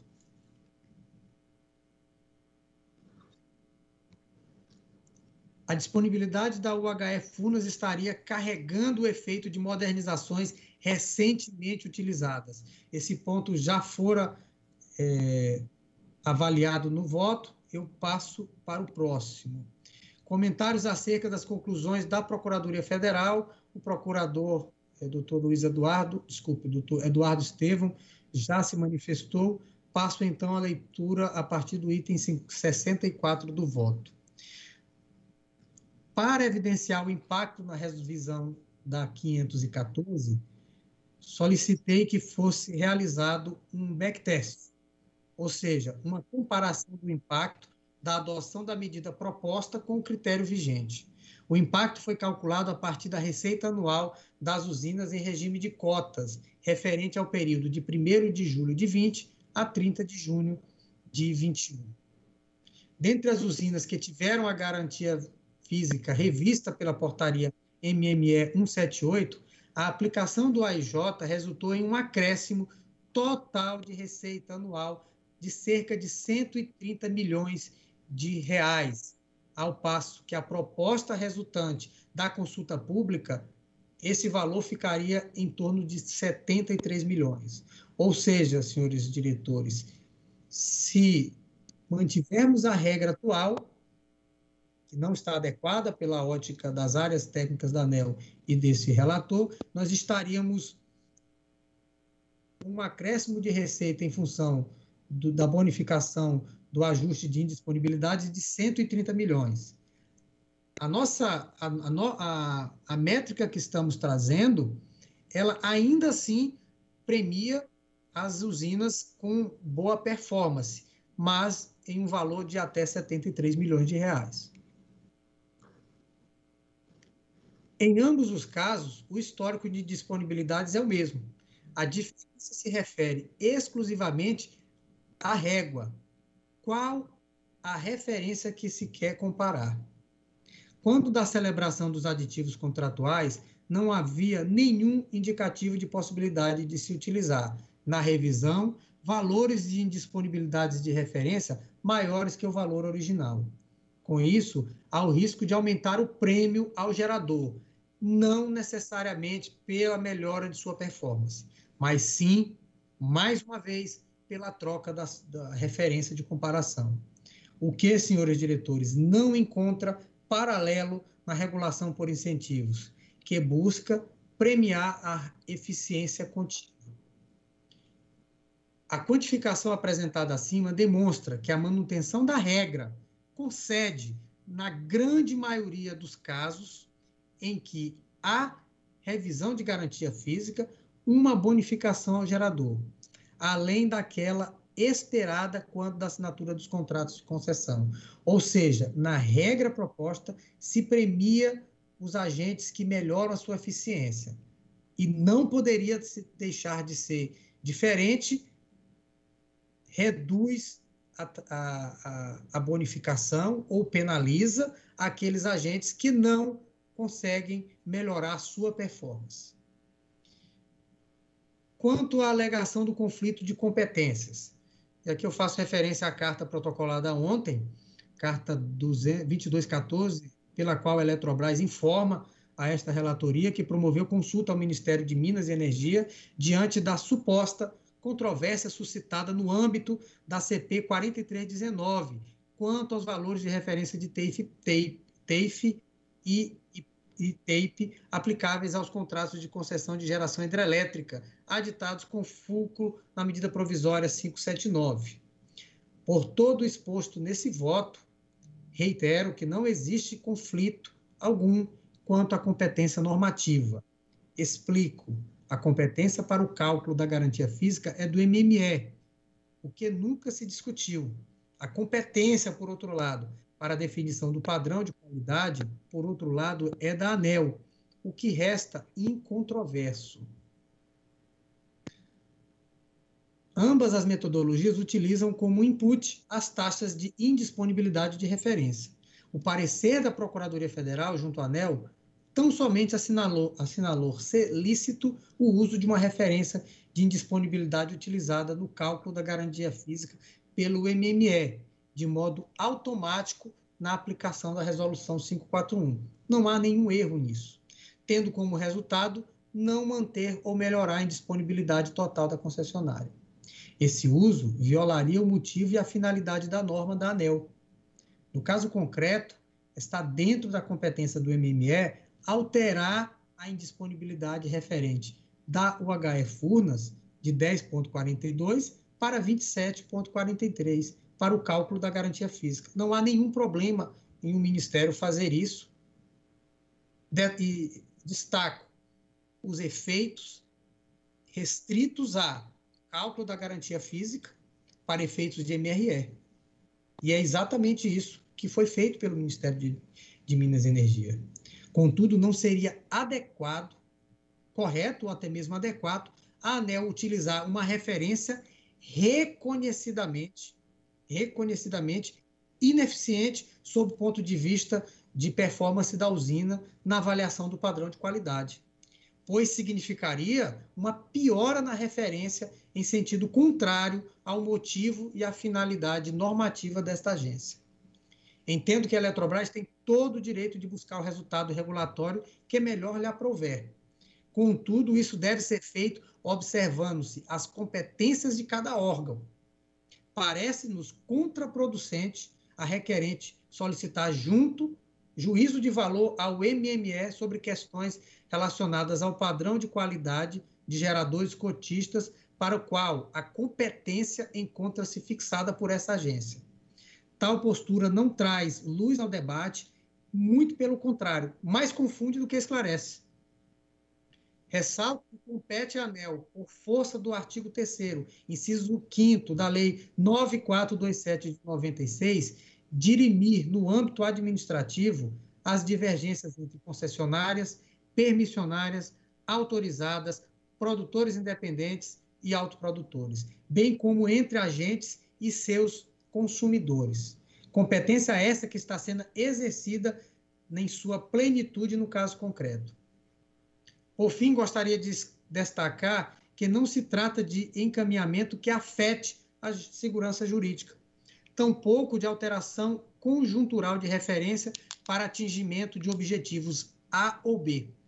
Trata-se de um ajuste na busca de garantir a adequada aferição da qualidade do serviço, por meio de comparação de desempenho esperado, conforme informações provenientes dos fabricantes de equipamentos e projetistas, para usinas do mesmo porte. Isto é, a avaliação da disponibilidade pode gerar bônus ou descontos aos geradores, a depender única e exclusivamente do seu desempenho em relação aos demais agentes de geração. Melhore o seu desempenho com relação aos, aos demais agentes de, de geração. Não buscar defender o uso de uma, de uma métrica que lhe beneficie. Nesse contexto, não há como defender que o acompanhamento dos índices de disponibilidade de uma usina tenha como referência o seu próprio histórico de disponibilidade. A referência deve ser uma meta de excelência a ser perseguida e não o próprio desempenho médio da usina, que não converge para o compromisso de manter ou melhorar os padrões de qualidade da concessão. Por fim, eu faria apenas mais um último comentário a respeito da, do expediente de provocar o Ministério de Minas e Energia no sentido de avaliar as competências dessa agência. As competências da agência são definidas em lei. O Ministério de Minas e Energia e a Agência Nacional de Energia Elétrica trabalham em completa harmonia. Não há de se falar em uma atuação do Ministério limitando as atuações dessa agência. Buscar guarida em uma, em uma buscar ter a expectativa de que haverá uma avaliação das competências dessa agência pelo Ministério, iria de encontro a toda a regulação e a toda a segurança e o arcabouço jurídico regulatório que tem permitido investimentos expressivos no país eh, desde a criação dessa agência em torno de 830 bilhões de reais 830 bilhões de reais investidos no país em valores históricos. Então, feito esses comentários, eu passo a leitura do dispositivo, que diante do exposto e considerando o que consta do processo 48.500.005102 de 2012, 2012, voto por aprovar a emissão de resolução normativa conforme minuta anexa, que estabelece as disposições relativas ao padrão de qualidade do serviço de geração de energia elétrica prestado por concessionárias de usinas hidrelétricas alcançadas pela Lei 12783 de 2013.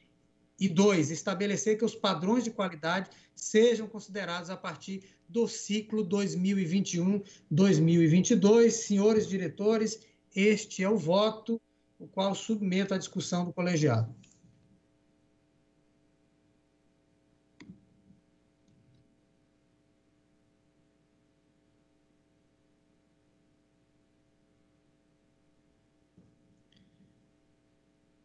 Em votação. Bom, o diretor relator Sandoval, ele fez um excelente trabalho, inclusive ouvindo os interessados, fato que está demonstrado na qualidade do voto que elaborou e que proferiu. Considerando a complexidade do assunto, para eu poder votar de forma tão consciente e segura quanto fez o diretor relator, diretor Sandoval, eu vou pedir vistas. Vistas solicitadas ao processo pelo diretor Elvio Guerra, solicito ao secretário-geral que chame o próximo item. É, item 19, processo 48.500.003669, 2018-86. Recurso administrativo interposto pela Companhia Energética do Maranhão, SEMAR, em face do auto de infração número 7, 2019, lavrado pela Superintendente de Fiscalização de Serviços de Eletricidade, SFE, que aplicou penalidade de multa após fiscalização de aspectos associados à qualidade do serviço de energia elétrica prestado pela concessionária no município de São Francisco do Maranhão. Diretora relatora, Elisa Bastos Silva, e a pedido de sustentação oral. Bom, senhores diretores, Trata-se da análise de um pedido de reconsideração interposto pela SEMAR, atual Equatorial Maranhão, em face do auto de infração número 7 de 2019, decorrente de fiscalização realizada para atender a demanda da comarca de São Francisco do Maranhão, que solicitou à ANEL a verificação da eficiência e da qualidade do serviço de energia elétrica prestado pela concessionária no município referido é, considerando que o voto já estava disponível é, em bloco desde a última quinta-feira, eu vou passar aqui a leitura do relatório é, direto para a sustentação oral. Tá, tá ok. Então, a, a sustentação oral será feita pela senhora Sofia Pérez Barbosa, representante da Companhia Energética do Maranhão, SEMAR.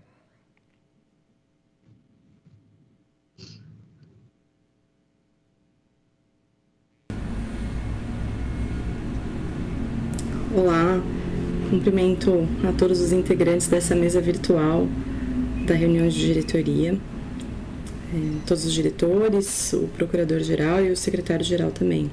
Essa sustentação é para tratar do processo fiscalizatório que culminou na lavratura do auto de infração 7 de 2019 para Equatorial Maranhão. A diretora relatora já descreveu muito bem o contexto em que esse auto de infração foi lavrado, então eu vou focar a minha sustentação oral aqui na não conformidade número 2, que foi aquela que aplicou a penalidade de multa de aproximadamente 300 mil reais para a concessionária. Analisando o, a exposição de motivos do auto de infração, a gente verificou que a fiscalização concluiu que foram observados intervalos de tempo demasiadamente longos para o restabelecimento das interrupções de energia elétrica. Isso é, configurou deficiência na qualidade dos serviços prestados no município de São Francisco do Maranhão. Os motivos que levaram a esses intervalos de tempo demasiadamente longos é, nos termos também da exposição de motivos do auto de infração, foi a localização geográfica desfavorável da equipe, o tamanho da equipe e o horário de atendimento também dessa equipe. Continuando na exposição de motivos do auto de infração, a gente verificou que os fundamentos utilizados para configuração da não conformidade 2, segundo a fiscalização, foram bastante genéricos. Então, o primeiro deles foi o artigo 31 da Lei 8987, que fala sobre a obrigação da concessionária de prestar serviço adequado. O segundo foi o artigo 132 do Decreto 41.019, que fala também sobre a obrigação de prestar um serviço com continuidade e eficiência, e o próprio contrato de concessão da distribuidora, que fala também em continuidade e eficiência dos serviços de distribuição de energia elétrica. Gente verificou, no entanto, que não foi indicado nenhum dispositivo que tratasse da localização ou do tamanho das equipes que devem ser alocadas para o atendimento de ocorrências emergenciais, nem do horário de atendimento dessa equipe. E esses dispositivos não foram mencionados porque não há na legislação nem na regulamentação nenhuma instrução específica sobre esses pontos. É, além disso, os artigos, os dispositivos, tanto do decreto 41.019 como do contrato de concessão que foram levantados pela fiscalização, eles falam em continuidade do serviço de distribuição. No entanto, o auto de infração não mencionou o regulamento específico da agência que trata sobre continuidade do serviço, que é o módulo 8 do PRODIST.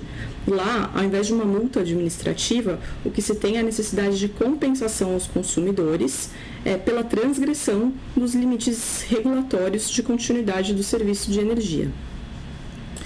Um, aqui eu acho que cheguei no ponto mais importante da apresentação, que é sobre como a inexistência de um dispositivo que determine qual a conduta que deve ser adotada pela concessionária em relação a esses pontos.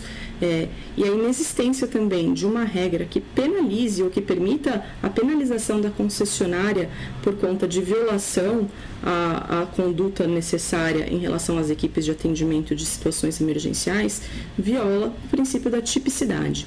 O princípio da tipicidade é uma decorrência do princípio da legalidade, que é aplicável para a administração pública por força do artigo 37 da Constituição Federal. O princípio da tipicidade foi é, uma grande conquista para o mundo jurídico em geral e para os setores regulados em especial. É, ele é tão importante porque esse é um dos princípios que garante a segurança jurídica e a estabilidade regulatória com base nele que os agentes conseguem saber exatamente quais as condutas que devem ser evitadas, para que então eles consigam evitar a penalização. Então, qual que é o nosso ponto aqui? Eu acho que muito mais do que o valor da penalidade em si, que foi aplicada para Equatorial Maranhão, o nosso receio é a criação de um precedente muito perigoso no setor elétrico, que é no sentido de que podem ser aplicadas penalidades sem que haja a previsão legal ou regulamentar expressa de que determinada conduta é vedada e, portanto, não pode ser adotada pela concessionária. Isso sim tem o potencial de gerar bastante instabilidade regulatória e bastante insegurança jurídica para o setor como um todo. É, também queria destacar que a doutrina e a jurisprudência é, do Brasil são muito claras no sentido de que tem que ter a subsunção exata do tipo infracional na verdade, da conduta infracional ao tipo infracional previsto na regulamentação, que é exatamente o que a gente não tem nesse caso aqui e porque a gente entende que há violação ao princípio da tipicidade. Né? Havendo violação ao princípio da tipicidade, a gente tem a nulidade da penalidade aplicada e, portanto, é, nesse caso, a gente pede o cancelamento da não conformidade 2. Outro ponto que eu queria destacar, que também leva à nulidade da não conformidade 2, é em relação à vedação ao comportamento contraditório. Porque olhando todo o processo que trata sobre continuidade, é, os limites de continuidade do serviço de distribuição, a gente verifica que até 2009, realmente a agência aplicava dois tipos de sanções para descumprimento desses níveis regulatórios. Um deles era a multa administrativa, efetivamente, e o segundo eram as compensações para os consumidores. A partir de 2009, no entanto, a agência mudou o seu posicionamento sobre o assunto. Então, há diversos trechos é, que comprovam isso. Então, teve uma análise de impacto regulatório que foi publicada em 2018 pela ANEL, que também fala bem expressamente que, com a previsão do término da aplicação da penalidade de multa em razão do descumprimento dos limites estabelecidos para os indicadores coletivos dos conjuntos Que era a sanção mais relevante à época, foram estabelecidos novos limites para os indicadores individuais, tornando-os mais rigorosos. Então, em 2009, houve uma opção regulatória pela agência de não mais aplicar a sanção, a multa administrativa pelo descumprimento dos limites de continuidade do serviço elétrico. Como a gente viu há pouco, a penalidade aplicada na não conformidade 2 nada mais é do que uma penalização pela violação dos limites de continuidade, porque há, um, como disse a fiscalização, um tempo demasiadamente longo para o restabelecimento do serviço.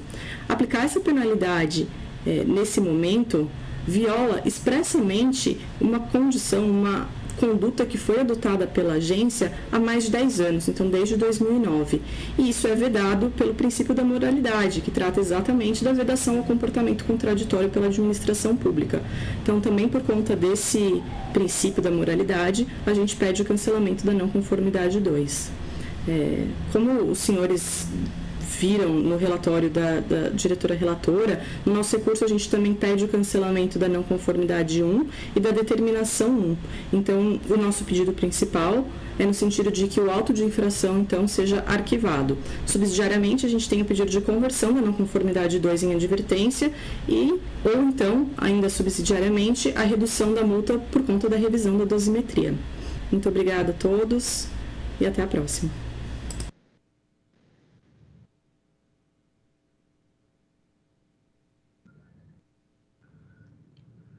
Doutor Sandoval, o senhor está presidindo. Ah, desculpe, Procuradoria. Bom, senhores diretores, a Procuradoria analisou esse caso por meio do parecer 331 de 2019. É, são duas não conformidades. A primeira resultou na aplicação de uma advertência, essa segunda é que resultou na aplicação da sanção de multa.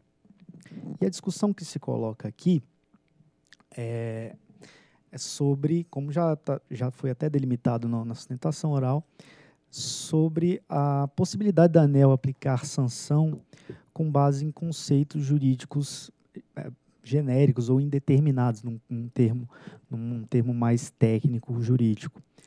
E a Procuradoria, em relação especificamente a, a, a esse ponto, ela analisou, e, e, aqui a gente tem que é, primeiro atentar para o fato, né, o que, qual é o, o fato que foi constatado pela, pela fiscalização?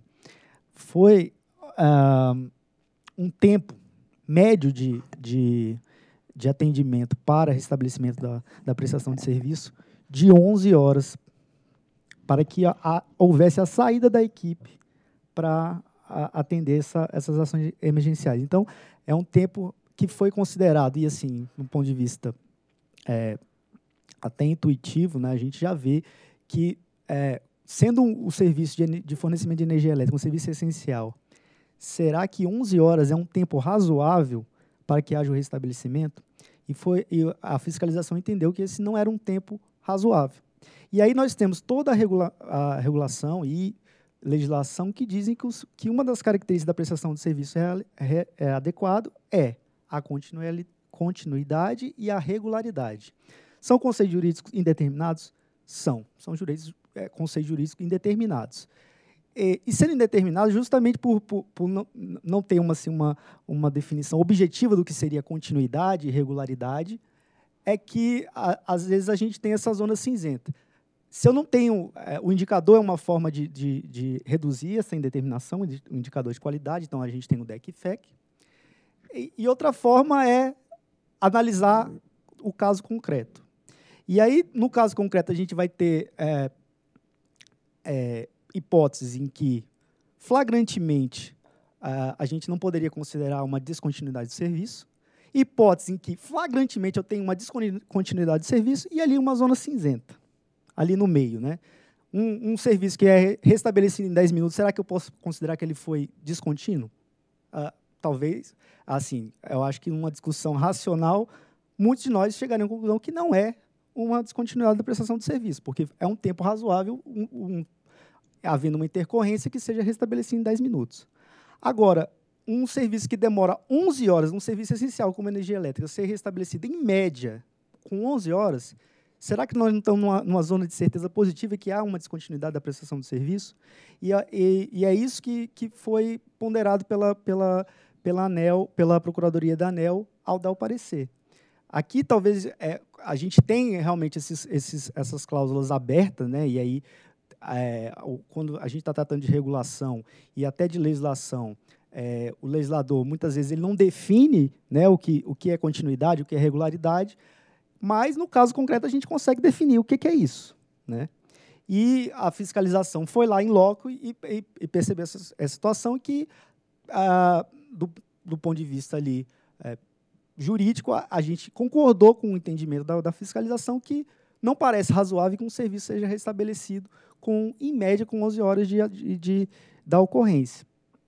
E aí a, a discussão que, é, que foi colocada aqui na sustentação oral é se é, o princípio da tipicidade comportaria esse, é, a inclusão desses, desses conceitos jurídicos indeterminados. E aí eu vou, eu vou me permitir ler aqui um trecho do, é, do parecer que é, cita o comentário, na verdade, a lição de Vitor Moraes de Andrade, que diz o seguinte: devemos partir da ideia de que a tipicidade da infração administrativa não se constrói com a mesma rigidez como ocorre nas sanções penais. Se encararmos o direito administrativo sancionador com os mesmos critérios de mobilidade impostos ao direito penal, teremos que considerar nulas as sanções administrativas impostas com base em referidas causas gerais ou conceitos legais indeterminados. No, no entanto, se pretendemos ver no Brasil o desenvolvimento de um direito administrativo sancionador aplicando às cegas princípios norteadores do direito penal, veremos um direito natimorto, pois dificilmente irá vingar no ambiente, muitas vezes hermético, no qual vivem as sanções penais. Então, justamente isso. O, o direito administrativo uh, sancionador ele permite uma maior mobilidade, ele permite, é, ele não está em jogo aqui a, a, a, a liberdade do indivíduo, e sim a, a o interesse público, né, na, na, e aqui o interesse público da prestação de serviço. Então, por isso, a gente pode ter uma maior flexibilidade quando a gente está tá tratando de, de definição das sanções.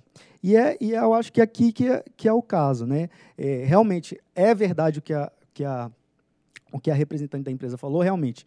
O que a gente avalia hoje para efeito de continuar da prestação de serviço é o indicador de, de qualidade. Então, a gente tem o, o DEC e o FEC, a ANEL te, tomou uma decisão realmente de não aplicar sanções, mas, claro, a gente tem esses casos limítrofes, em que fica evidente que talvez o DEC e FEC não seja suficiente para uh, demover o, a concessionária de um comportamento que flagrantemente é contraditório a, a, ao, ao, atributo do, do, serviço, do conceito de serviço adequado, que é, dentre eles, a regularidade e a continuidade. Por isso que a Procuradoria, nesse caso, entendeu que é, o recurso deveria ser conhecido, porém não provido. Bom, agradeço a manifestação do Eduardo Ramalho, procurador substituto.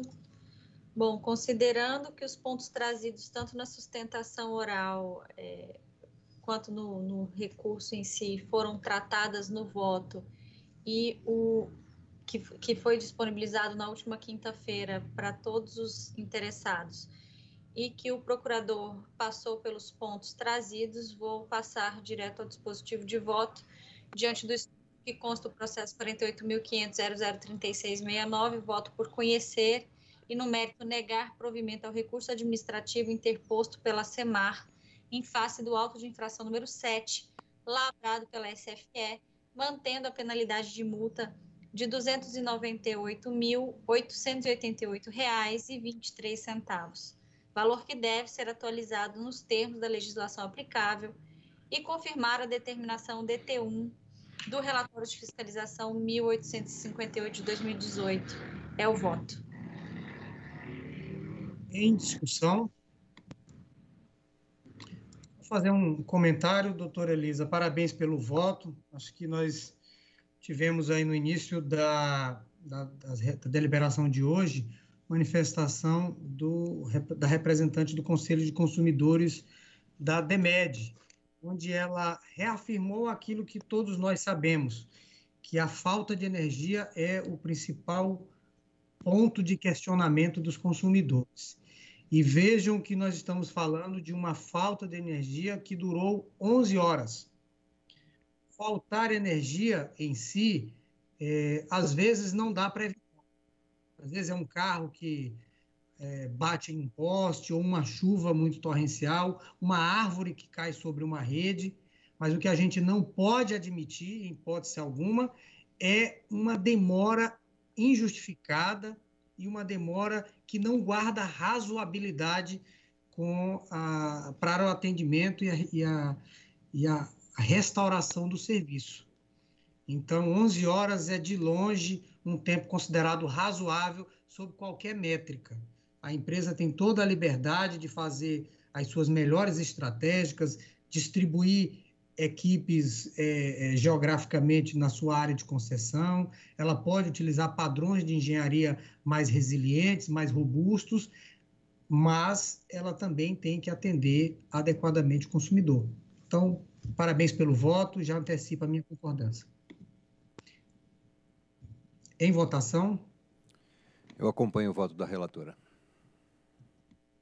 Eu também acompanho a voto, o voto da diretora Elisa, relatora do processo, e proclamo que a diretoria da ANEL decidiu, por unanimidade dos diretores presentes, conhecer e, no mérito, negar provimento ao recurso administrativo interposto pela Companhia Energética do Maranhão, SEMAR, em face do auto de infração 7 de 2019, lavrado pela Superintendência de Fiscalização dos Serviços de Eletricidade, SFE, mantendo a penalidade de multa em valores históricos de R$ 298.888,23, valor que deve ser atualizado nos termos da legislação aplicável e também confirmar a determinação D1 do relatório de fiscalização 1858 de 2018 da SFE.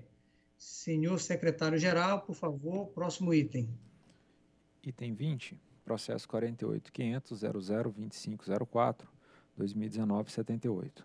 Recurso administrativo interposto pela Etiquira Energética S.A., a ITISA, em face do auto de infração número 7 2017, lavrado pela Agência Estadual de, Regulação de Serviços Públicos Delegados de Mato Grosso, AGER-MT, que aplicou multa, que aplicou penalidade de multa em decorrência das não conformidades apuradas na fiscalização da usina hidrelétrica UHE Itiquira, diretora relatora Elisa Bastos Silva, e a pedido de sustentação oral.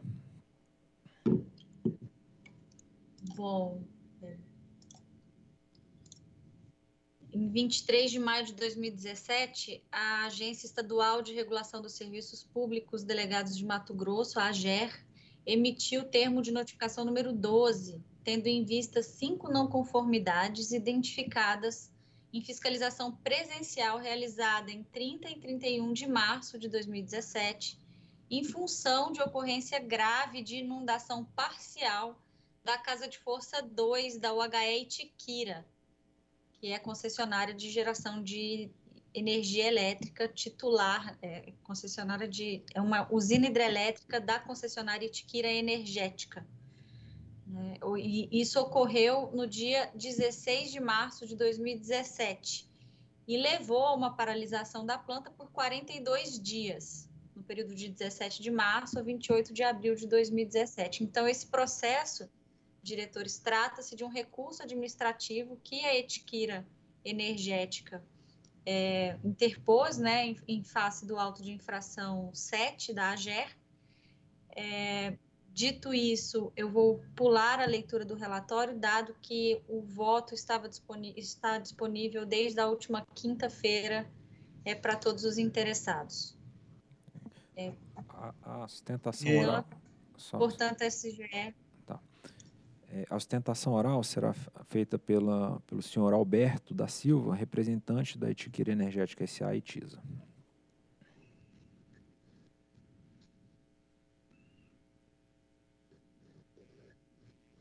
Senhores diretores, senhor procurador-geral, bom dia. Nós estamos aqui para falar do auto de infração 7 de 2017, lavrado originalmente pela GRMT, em razão do entendimento de que a etiqueira energética, em março de 2017, teria praticado uma infração consistente na manutenção ou operação inadequada da usina de forma permanente. Haveria então uma violação do contrato de concessão, um dispositivo específico que fala do assunto, é, e da Resolução Normativa 63 de 2004, vigente à época.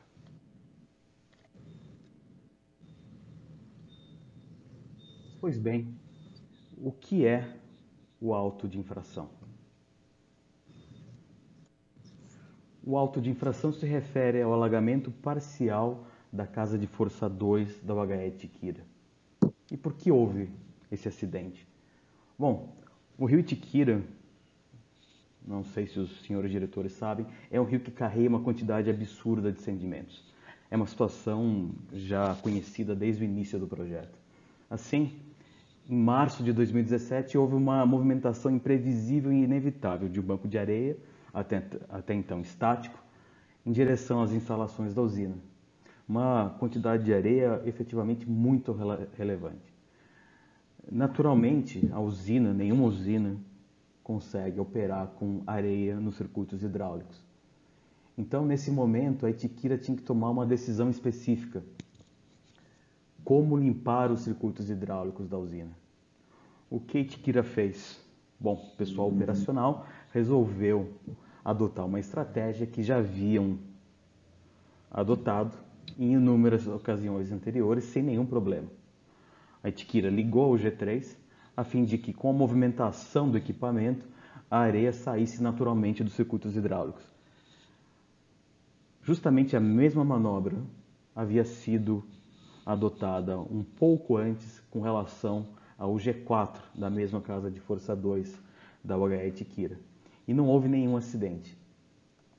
Acontece que nesse caso específico, nessa situação específica, diante do tamanho, eh, da quantidade, do volume é, muito grande de areia, essa areia criou uma obstrução a jusante, que fez com que houvesse uma pressão acima da projetada sobre a escotilha de, de inspeção da unidade geradora 3.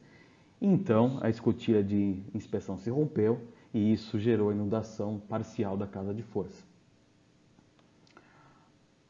A SFG sustenta que o fato de a Etiquira ter rodado a máquina teria sido equivocado, uma ação equivocada. Ela, na verdade, deveria ter feito a drenagem completa do circuito hidráulico antes de qualquer outra ação. O problema é que essa medida sugerida pela SFG não é concebível. Para fazer o que efetivamente a SFG sugeriu, a Etiquira teria que ter enviado funcionários seus para dentro da usina para limpar os circuitos manualmente, literalmente com pá e balde, e num conduto cuja inclinação era de mais ou menos 60 graus. Não, não era efetivamente viável. Bom, por tudo isso, nós defendemos que o que aconteceu efetivamente, o que levou ao acidente, foi um caso fortuito de força maior e que, portanto, o auto de infração merece ser cancelado. Mas, mesmo que não seja assim, mesmo que os senhores não entendam dessa forma, na pior das hipóteses, o que ocorreu foi um erro pontual e isolado na operação do usina. E, portanto, o enquadramento da etiquira merece ser retificado. Não se aplica o artigo 6 inciso 14 da REM 63. Esse dispositivo exige sempre um caráter de permanência. A conduta da etiquira não foi inadequada de forma permanente. A própria SFG reconheceu que durante os meses e anos anteriores ao acidente, a Etiquira havia adotado uma série de medidas adequadas para evitar o assoreamento do rio e para efetivamente prestar um serviço adequado. O que se aplica, na verdade, por conta do erro pontual isolado, é o inciso 15 do artigo 4 da REM 63, que é justamente deixar de utilizar métodos operativos que garantam a prestação do serviço adequado. No máximo, o que aconteceu foi a conduta da etiquira naquele momento foi infeliz. Foi errada e esse enquadramento devido. É exatamente nesse sentido que foi emitido o parecer da Procuradoria da ANEL, solicitado pela diretora, relatora. A Procuradoria concluiu que o raciocínio jurídico aplicável para enquadrar a conduta à norma é ou leva à interpretação de que o dispositivo violado, efetivamente, a infração que se caracteriza é a do artigo 4 inciso 15 da RIM 63. E por quê? Justamente pela ausência do critério de permanência. Não foi uma conduta permanente da etiquira que causou o acidente, foi algo pontual. No processo, nós temos vários precedentes em que o quesito permanência é cumprido. CEAL, CHESF, Petrobras e Furnas. Isso está devidamente explicado nos autos. Então, para finalizar esse ponto, este é nosso pedido subsidiário, ou seja, se não houver o cancelamento do auto de infração, então que se reenquadre a conduta no tipo 1, justamente como a Procuradoria da ANEL reconheceu que é a interpretação jurídica adequada neste caso específico.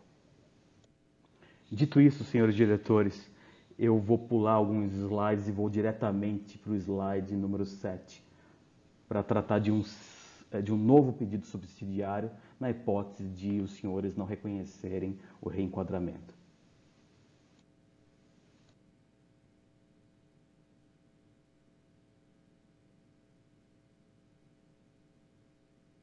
Eu gostaria de chamar então, senhores diretores, a atenção dos senhores para essa tabela. Essa tabela que eu mostro agora deixa absolutamente clara a severidade da sanção que se pretende aplicar à Etiquira. De fato, a multa que a GER aplicou à Etiquira, que até agora está sendo referendada pela ANEL, só se compara à multa da UHE Itumbiara, que está aqui na segunda linha da tabela. Só que Itumbiara é uma usina muito maior do que Tiquira, 2 mil megawatts de capacidade instalada. O que aconteceu no caso específico foi uma manutenção inadequada que causou o desligamento simultâneo de cinco das seis unidades geradoras da, da usina de forma indevida, levou uma perturbação do SIM em 2012. E isso, por sua vez, causou o desligamento de várias unidades geradoras e usinas hidráulicas e térmicas e linhas de transmissão em vários estados, Minas, Mato Grosso, Acre e Rondônia. É essa justamente a usina em que há um auto de infração que se equipara a Itiquira. Só que em Itiquira não houve danos a terceiros, não houve perturbação do SIM, não houve danos a pessoas, nada. Só o agente é que foi prejudicado. A usina ficou parada e a concessionária teve que investir mais recursos para recuperar as instalações. Esse é então o principal precedente que nós gostaríamos de mencionar aqui. Os outros também mostram que a multa aplicada à Etiquira é extremamente severa. Então, senhores diretores, nós entendemos que se não houver a reclassificação da conduta da Etiquira em linha com o parecer jurídico da Procuradoria, que determina o exato raciocínio jurídico que deve ser aplicado à usina, ao agente, então a dosimetria deve ser revista substancialmente. Hoje, senhores diretores, a multa aplicada à etiquira é excessiva, desproporcional e antisonómica.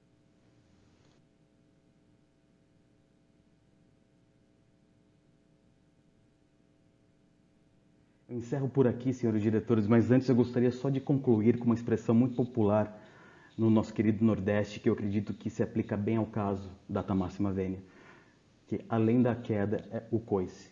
Novamente, somente a Etiquira foi prejudicada pelo evento de março de 2017. Muito obrigado pela atenção e meus parabéns, Anel, pelo excelente trabalho de fiscalização que a agência sempre desenvolve.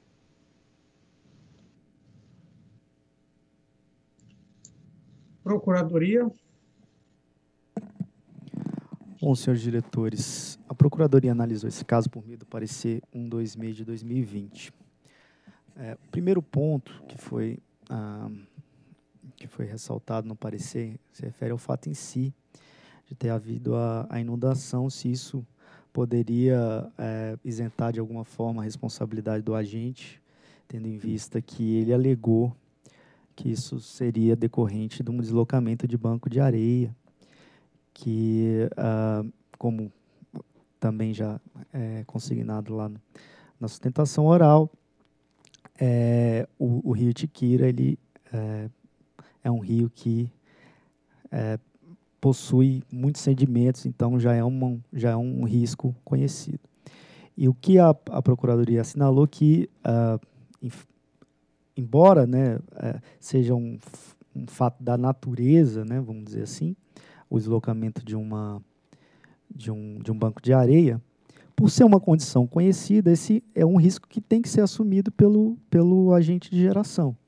Então, quando se faz um projeto de, de usina, já se tem que levar em consideração a condição onde essa usina vai ser construída. Então, se ela vai ser construída num, num local em que há muito sedimento, eu tenho que preparar a minha usina para esse evento que pode, que pode ocorrer. Então, é um risco conhecido que tem que uh, que tem que haver um certo tipo de precaução por parte agente de geração. Então, se for fortuito, é um fortuito interno da, da, da, da do, do, empreendimento. Então, é, e aqui a, a, convergência plena entre o, o, o, parecer e o voto que foi disponibilizado pela relatora, não, não, não há como isentar de responsabilidade o agente por conta desse, uh, desse evento.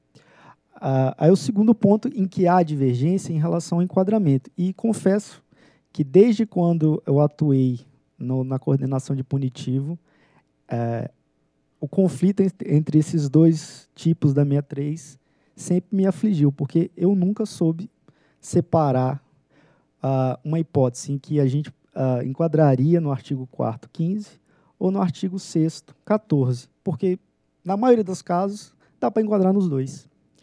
E o que a, a, a Procuradoria fez nesse caso uh, foi estabelecer um critério. Qual o critério que ela estabeleceu? Uh, já foi exposto até pelo, pelo, pelo representante da empresa. Uh, se houver um fato pontual, e aqui a, o, o parecerista entendeu que era um fato pontual, que isso não poderia ser enquadrado como uma, uma operação permanente de forma inadequada. Então, se não há um, um caráter permanente na infração, que eu deveria enquadrar isso no artigo 15. É uma leitura? É uma leitura. Agora, a leitura que foi feita pela relatora, ela é errada juridicamente? Eu não diria também que é errada juridicamente. É apenas uma outra interpretação que eu acho plausível. Né? É, você dizer que, na verdade, o que eu estou estabelecendo é um dever de, o dever de permanência é da prestação é, adequada do serviço. Então, a operação permanente o dever é de operar permanentemente de forma adequada à instalação. Então, se eu tenho um fato que é, evidencia que não está tendo uma operação adequada, que, consequentemente, não houve uma operação é, permanentemente adequada do, do, do, da instalação. É uma outra interpretação. Mas aqui eu acho que não me cabe, né? acho que foi um, um parecer que foi feito pelo coordenador de punitivo e aprovado pelo procurador-geral, essa foi a, a, posição da Procuradoria, então não me cabe aqui defender outra posição que não seja da Procuradoria. Mas fazendo essa ressalva que eu acho plenamente plausível e adequada à interpretação que foi feita pela, pela diretora relatora no voto que foi disponibilizado. Agradeço, Eduardo Ramalho, pelas manifestações. Bom, como o voto, já mencionei que o voto estava disponível desde a última quinta-feira. Nesse caso em específico, vou fazer apenas algumas considerações. Né? Inicialmente, eu destaco que eu não entendo é, o alagamento da Casa de Força 2 da, da UHE como um evento de caso fortuito de força, força maior, né? Como destacou o representante do gerador, desde a concepção do projeto, o empreendedor sabe que o rio Itiquira é, carregaria numa quantidade muito grande de, de, de sedimentos, né? Assim, essa movimentação do banco de areia, ela consiste em um caso fortuito interno, como acabou de mencionar o próprio procurador, associado a riscos inerentes à própria atividade da, da UHE. Além dessa característica intrínseca do rio Itiquira, no caso em análise, a movimentação do banco de areia ocorreu durante os testes de comissionamento que estavam sendo realizados na Casa de Força 1, né? Esses testes demandaram variações abruptas de carga, nível e, consequentemente, de velocidade da água. Né? E, apesar disso, a empresa não adotou as medidas preventivas né, que, que poderiam, eventualmente, proteger essas unidades geradoras em operação. Acho que em que pese haver alguma imprevisibilidade nessa movimentação do, do banco de areia, a Itiquira ela conhecia os riscos inerentes a essas características próprias do rio Itiquira, né, sabia da existência do banco de areia e não tomou as providências para minimizar, pelo menos, né, os riscos durante os testes de comissionamento. Então, acho que dessa forma eu entendo que, que se tratou de um caso fortuito interno, né, que poderia, inclusive, ter seus efeitos evitados pelo próprio empreendedor. Tanto é que a inundação dessa, dessa casa de força ela ocorreu quatro dias depois do deslocamento do banco de areia e apenas depois de, de, de tentativas da Etiquira de carrear as areias, areia pelos circuitos hidráulicos da unidade geradora. e também como foi explicado pelo representante da Etiquira nessa sustentação oral, o alagamento ele foi decorrente do rompimento dos parafusos da escotilha de inspeção dessa turbina da unidade geradora, ocorrido durante as tentativas do gerador de tirar a areia dos circuitos hidráulicos por meio da operação forçada da unidade geradora. Né? Então, eu não vejo como caracterizar o evento como fortuito ou de força maior. Quanto ao enquadramento da infração, concordo com o posicionamento da AGR e da SFG, né, que apontam o descumprimento do inciso 4 da subcláusula 1 do contrato, da cláusula 5 do contrato de concessão, e o enquadramento no inciso 16 do artigo 6 da resolução 63. Acho que a referida obrigação contratual consiste em manter permanentemente as instalações é, do aproveitamento hidrelétrico em perfeitas condições de funcionamento. Né? Os fatos aqui trazidos, eles evidenciam que as instalações dos equipamentos foram mantidos ou operados de forma inadequada, o que levou a esse alagamento da casa de força e, portanto, teve um descumprimento contratual. É, eu não concordo com a alegação da etiqueira de que o enquadramento no inciso 16 do artigo 6 da 63 exigiria o descumprimento de forma permanente das condições contratuais. Né? Não me parece que é razoável que a aplicação de um tipo infracional dependa do descumprimento permanente de obrigação legal, regulamentar ou contratual. Né? Acho que o raciocínio aqui é inverso. O que deve ser permanente nos termos contratuais é a manutenção dos equipamentos e instalações em perfeitas condições de, de funcionamento. Né? Acho que para concluir aqui as minhas manifestações, eu destaco que a gente está se tratando de um bem público, que é operado por uma concessionária que tem a posse, mas não tem a propriedade dessas instalações. Né? A operação inadequada da usina afeta tanto a segurança das instalações quanto o que se encontra jusante do barramento.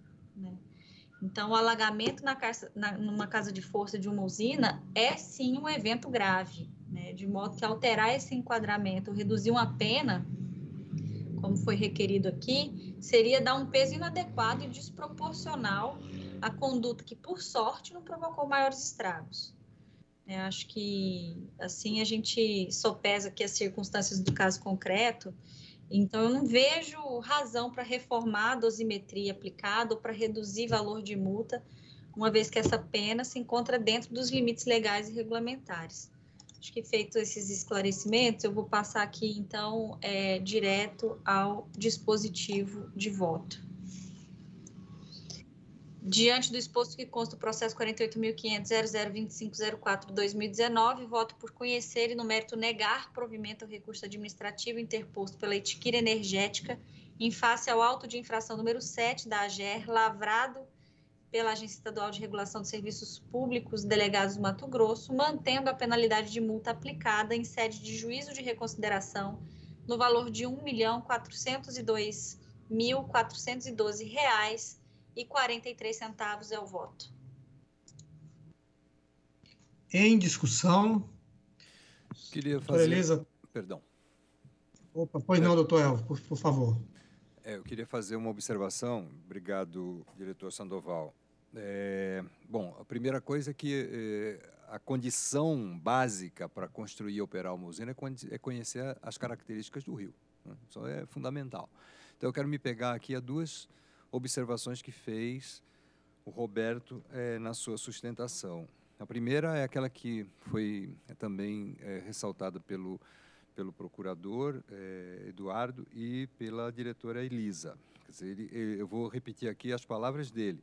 O rio Itiquira, ele fez uma pergunta, se nós diretores conhecemos o rio Itiquira. Bom, eu particularmente não conheço, mas eu vou me pegar aquilo que ele disse.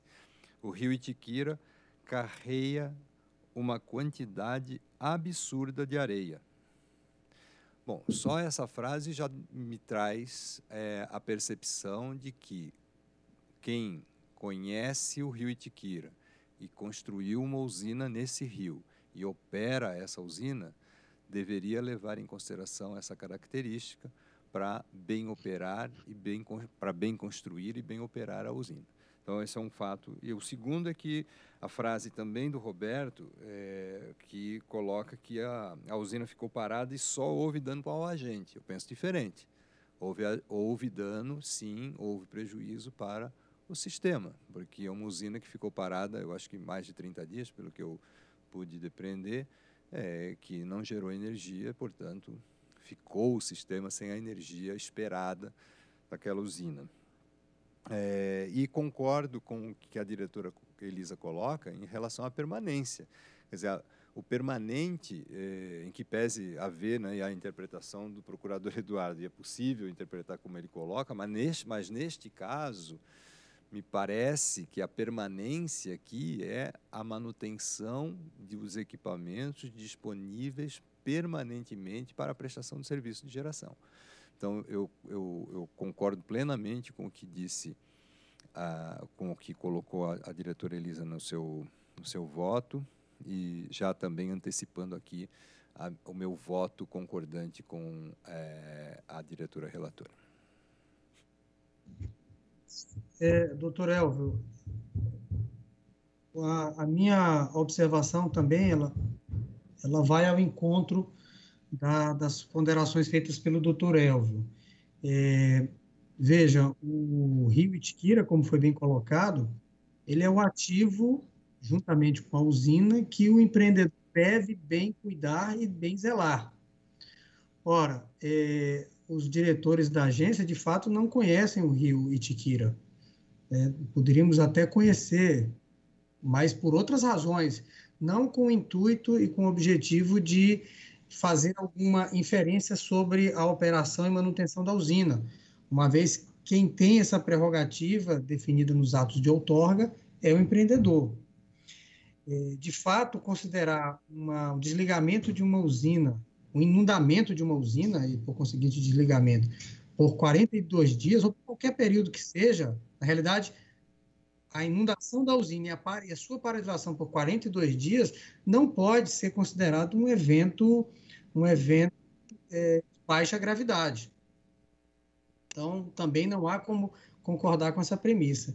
E, por fim, que eu acho que é o ponto que, de alguma forma, tem alguma controvérsia com a visão do procurador, é, que eu respeito, claro, sempre muito bem, muito bem fundamentado suas ponderações, é no sentido de que a prestação de serviço, ela, de fato, tem que ser permanente. Então, nesse caso específico, deveria o agente ter identificado o risco da, desses bancos de areia atrapalhar ou inviabilizar a operação da usina.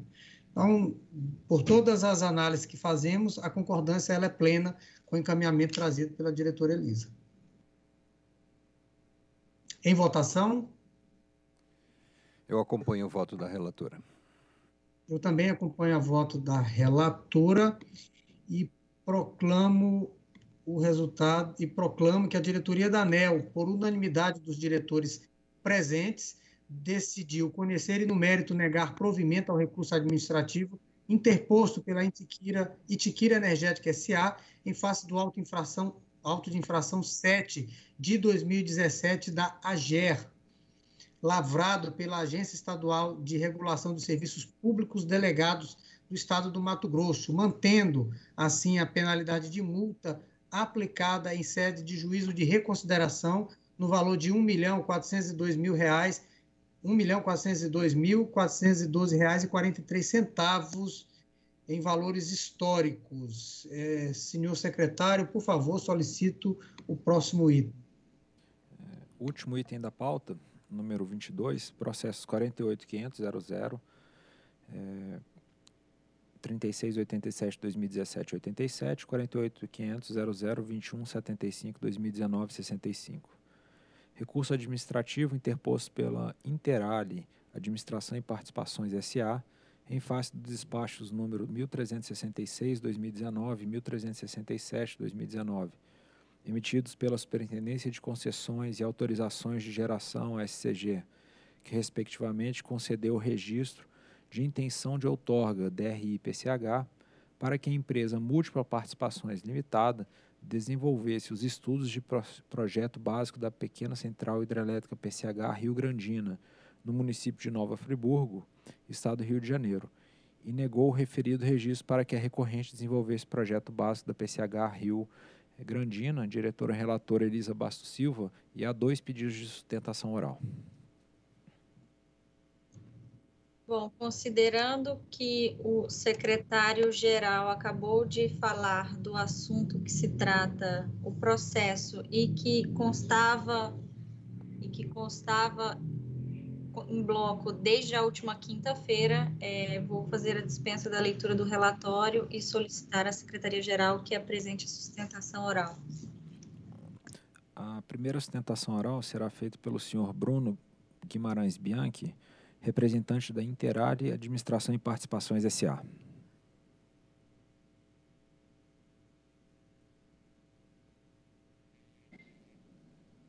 Ilustres senhores diretores e senhora diretora da Agência Nacional de Energia Elétrica, um bom dia a todos.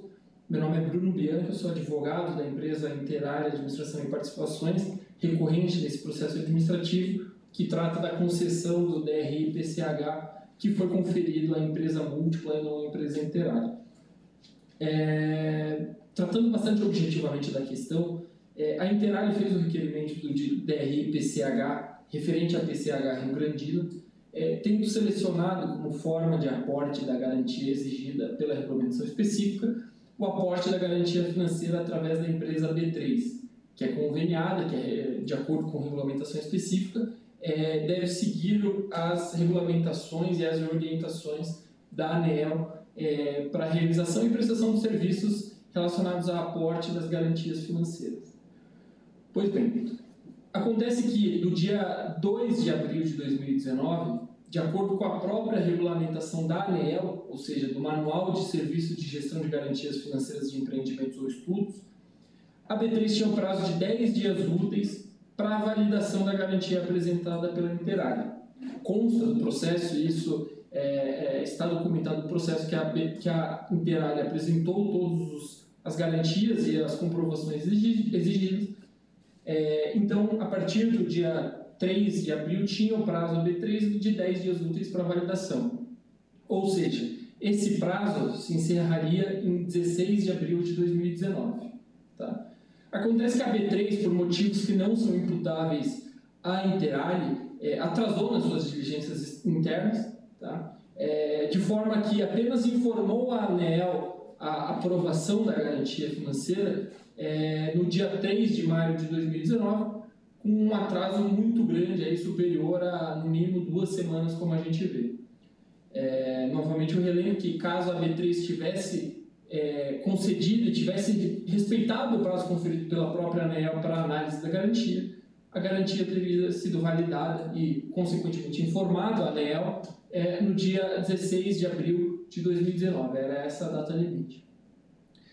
Qual que é a questão que surge aqui? O problema é que no dia 25 de abril de 2019, a empresa Múltipla Participações apresentou requerimento de DRI PCH referente à PCH Rio Grandina, na qual é, apresentou e optando é, de acordo com o seu bel prazer por outra forma de garantia financeira, apresentou os documentos exigidos. Inclusive a questão relativa ao aporte da garantia feita, da garantia financeira que foi feita. É, qual é a grande questão que surge aqui? A ANEEL entendeu que, é, pelo fato de a múltipla ter apresentado esse requerimento e ter feito essa escolha da, da, da garantia financeira de uma forma diversa, ela cumpriu todos os requisitos é, para concessão do DRI-TCH à empresa. Tá? É, ocorre que, na nossa visão, essa concessão do DRPCH é absolutamente atípico e acaba por penalizar a empresa inteira por conta de um atraso que não foi ocasionado por ela, mas sim foi ocasionado pela, pela B3 enquanto empresa conveniada da ANEEL para análise das questões relativas à garantia financeira apresentada. Então, é, ao se conceder o DRI-PCH à empresa múltipla e se negar à empresa Interale, é evidente aqui que a ANEL está impondo uma, uma, um prejuízo por conta do atraso ocasionado pela B3 e não pela Interare, a Interare. Basicamente, a empresa Interare está sofrendo as consequências do atraso que não foi ocasionado por ela.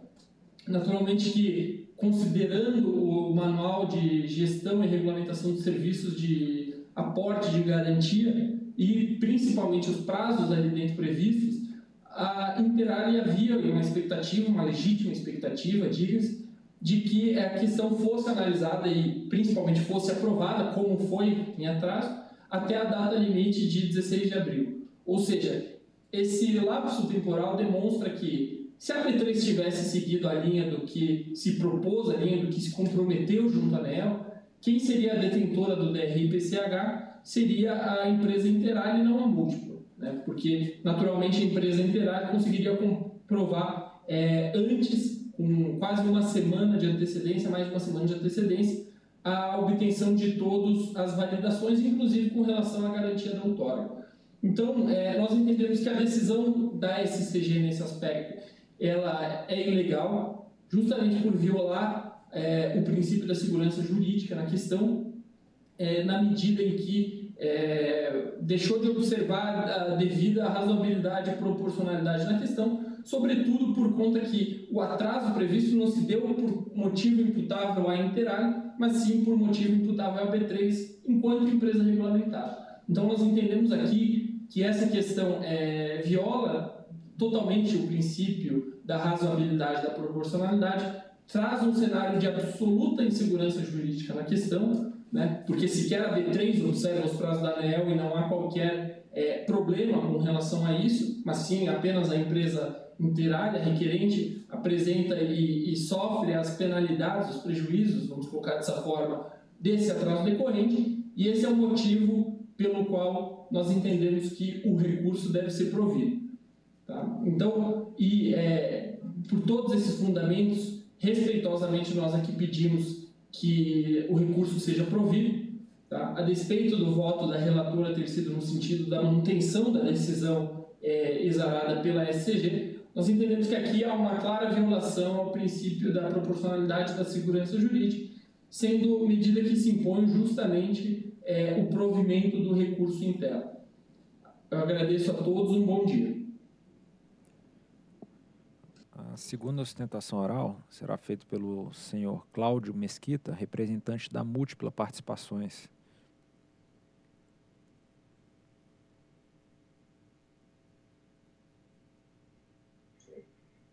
Bom dia, doutora Elisa. Bom dia, diretores, doutor Procurador-Geral, senhor secretário, senhoras e senhores que nos assistem virtualmente.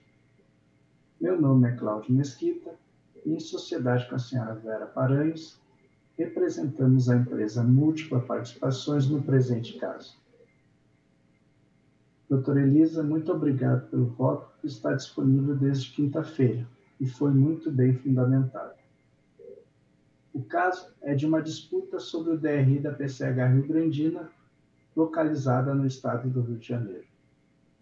Essa sustentação oral tem como objetivo contrapor à Interalho uma possível sustentação oral proposta pelos advogados da empresa. A múltipla cumpriu rigorosamente os ditames da Resolução Normativa 673-2015, atual 875-2020, e foi a primeira empresa a entregar a documentação completa de solicitação do DRI da PCH Rio Grandina.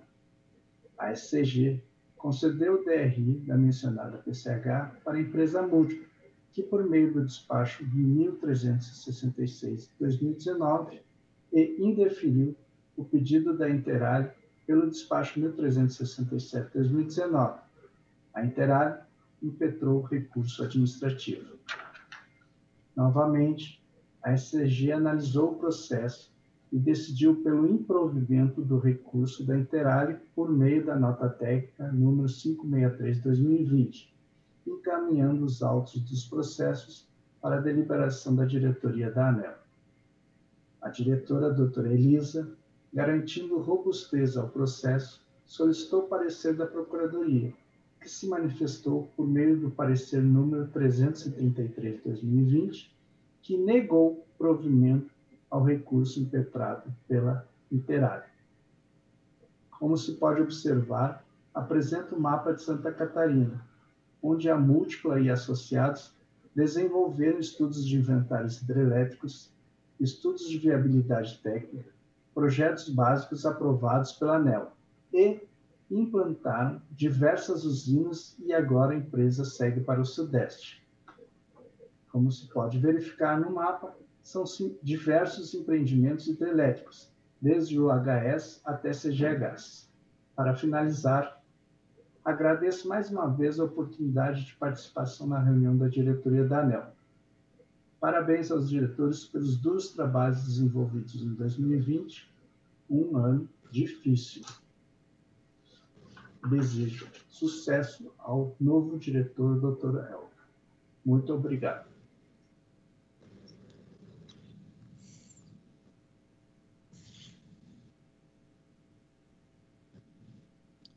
É, solicito manifestação da Procuradoria. Bom, senhores diretores, já está bem é, delimitada o quadro fático desse, desse processo. E por meio do parecer 333 de 2020, é, basicamente o que a Procuradoria destacou é que nos termos da, da resolução 673, a, a preferência para a concessão do DRI é para quem apresenta a documentação completa. No caso, a, re, a requerente, a recorrente Interali, ela fez o requerimento do DRI uh, anteriormente à, empresa múltipla. Ocorre, como a, gente já uh, viu aqui pelas sustentações, a documentação é, referente à garantia de fiel cumprimento, ela só foi validada após a, a múltipla ter, ter apresentado seu requerimento e a múltipla já apresentou o requerimento com a documentação completa, com já a garantia já, é, digamos assim, validada. Né? Então, é, na interpretação da 673, a, a Procuradoria entendeu que quem apresentou primeiro a documentação completa foi a empresa múltipla e não a empresa Interare. Por isso que recomendou o não provimento do recurso.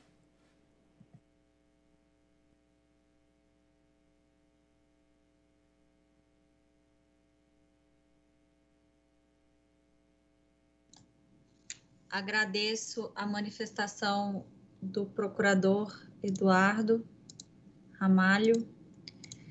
Bom, aqui no processo em tela temos dois proponentes que disputavam DRI da PCH Rio Grandina, como foi bem pontuado aqui nas duas sustentações orais, que ela é localizada lá em, em Nova Friburgo, né? A Interalha, ela protocolou o primeiro pedido no dia 12 de abril de 2019 mas com a documentação incompleta sem, e sem apresentação da garantia financeira.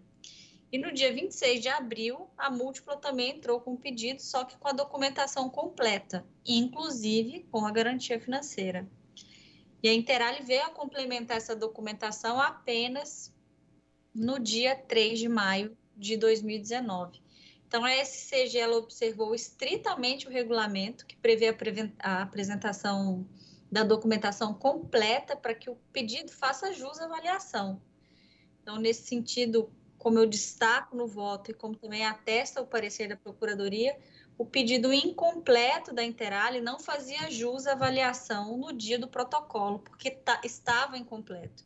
E por isso deveria ser arquivado até a complementação dos documentos. No recurso da, da Interale, a Interale ela alega que o atraso na B3 da B3 nessa emissão de garantia prejudicou a empresa, né?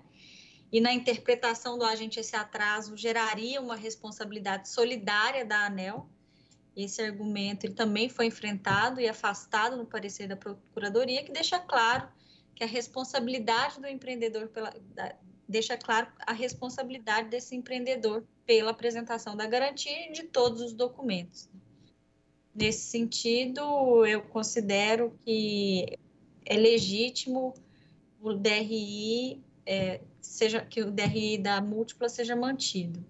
Então, feito esses comentários, passo ao dispositivo de voto, considerando que consta nos processos 48.500.0036.87 de 2017 e 48.500.0021.75 de 2019, voto por Conhecer o recurso administrativo interposto pela Interalha Administração e Participações SA em face dos despachos 1366 e 1367 emitidos pela SCG para, no mérito, negar-lhe provimento e solicitar instrução de processo específico com ampla defesa e contraditório para apurar a informação sobre o desenvolvimento da CGH Bengala no mesmo trecho do rio definido para a implantação da PCH Rio Grandina, prevista na participação de quedas aprovada no inventário do Rio Grande, objeto do despacho 481 de 14 de abril de 2005, em violação ao disposto no artigo 8 da Lei 9074 de 1995, é o voto.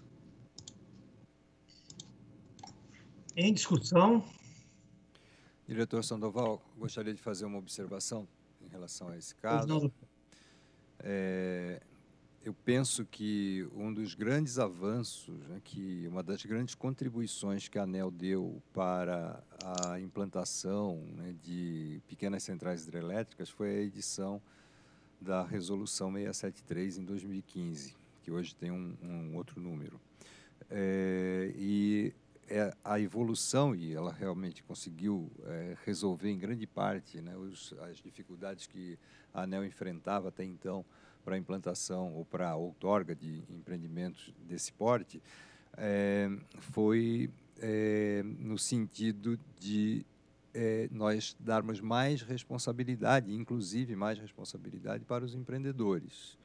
E dentre essas responsabilidades está a apresentação completa de toda a documentação. Então, o primeiro empreendedor que consegue toda a, a, documentação completa de um empreendimento, de um projeto, é aquele que terá o direito a receber a outorga. Então, esse é o ponto. Né? Nós estamos aqui diante de um caso típico. Né? Alguém teve a capacidade de é, conseguir toda a documentação para o seu projeto. Então, é, é, parece tão simples quanto isso. Essa é a regra.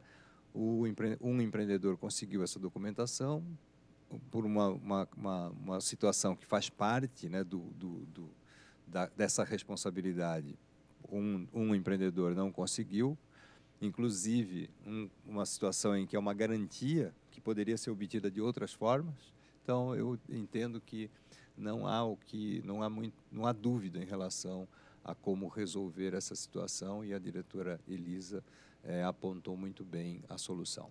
É, também antecipo aqui que é, voto, em, voto com a diretora Elisa. Muito obrigado, doutor Elvio. Eu também gostaria apenas de fazer uma fazer coro aí a, a manifestação do doutor Elvio. Nós tínhamos um grande problema antes de 2015.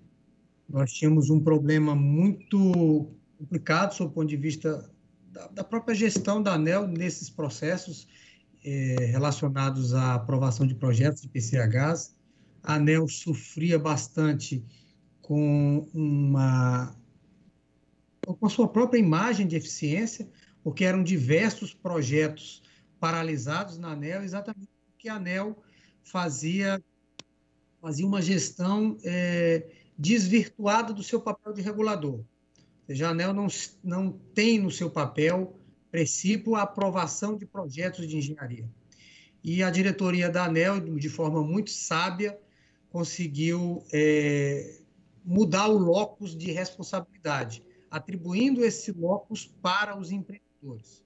Então, a ANEL, me, me recordo bastante, porque trabalhei na assessoria do diretor Reive, um dos grandes é, precursores de toda essa discussão no âmbito da agência, que depois de amadurecida a ideia, ela foi muito bem conduzida pelo Dr. Elvio quando superintendente da SG, SCG.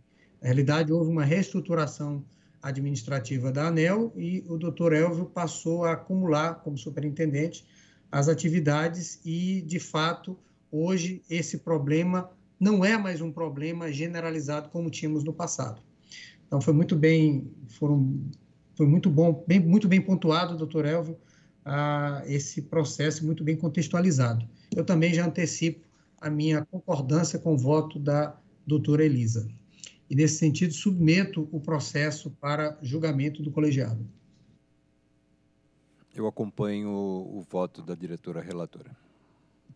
Eu também acompanho o voto da diretora Elisa e proclamo que a diretoria da ANEL decidiu, por unanimidade dos diretores presentes, conhecer o recurso administrativo interposto pela Interale Administração e Participações SA, em face dos despachos 1366 de 2019 e 1.367, também de 2019, emitidos pela Superintendência de Concessões e Autorizações de Geração, SCG, para no mérito negar-lhe provimento. Também decidiu a diretoria solicitar instrução de processo específico com ampla defesa e contraditório para apurar a informação sobre o desenvolvimento da CGH Bengala, no mesmo trecho do rio definido para a implantação da PCH Rio Grandina, prevista na partição de quedas aprovada no inventário do Rio Grande, objeto do despacho 481 de 14 de abril de 2005, em violação ao disposto no artigo 8 da Lei 9074 de 1995. Senhores diretores, considerando que este é o último processo de nossa pauta, declaro encerrada a 43ª reunião pública ordinária da diretoria da ANEL, desejando desde já uma boa semana a todos e é isto. Muito obrigado.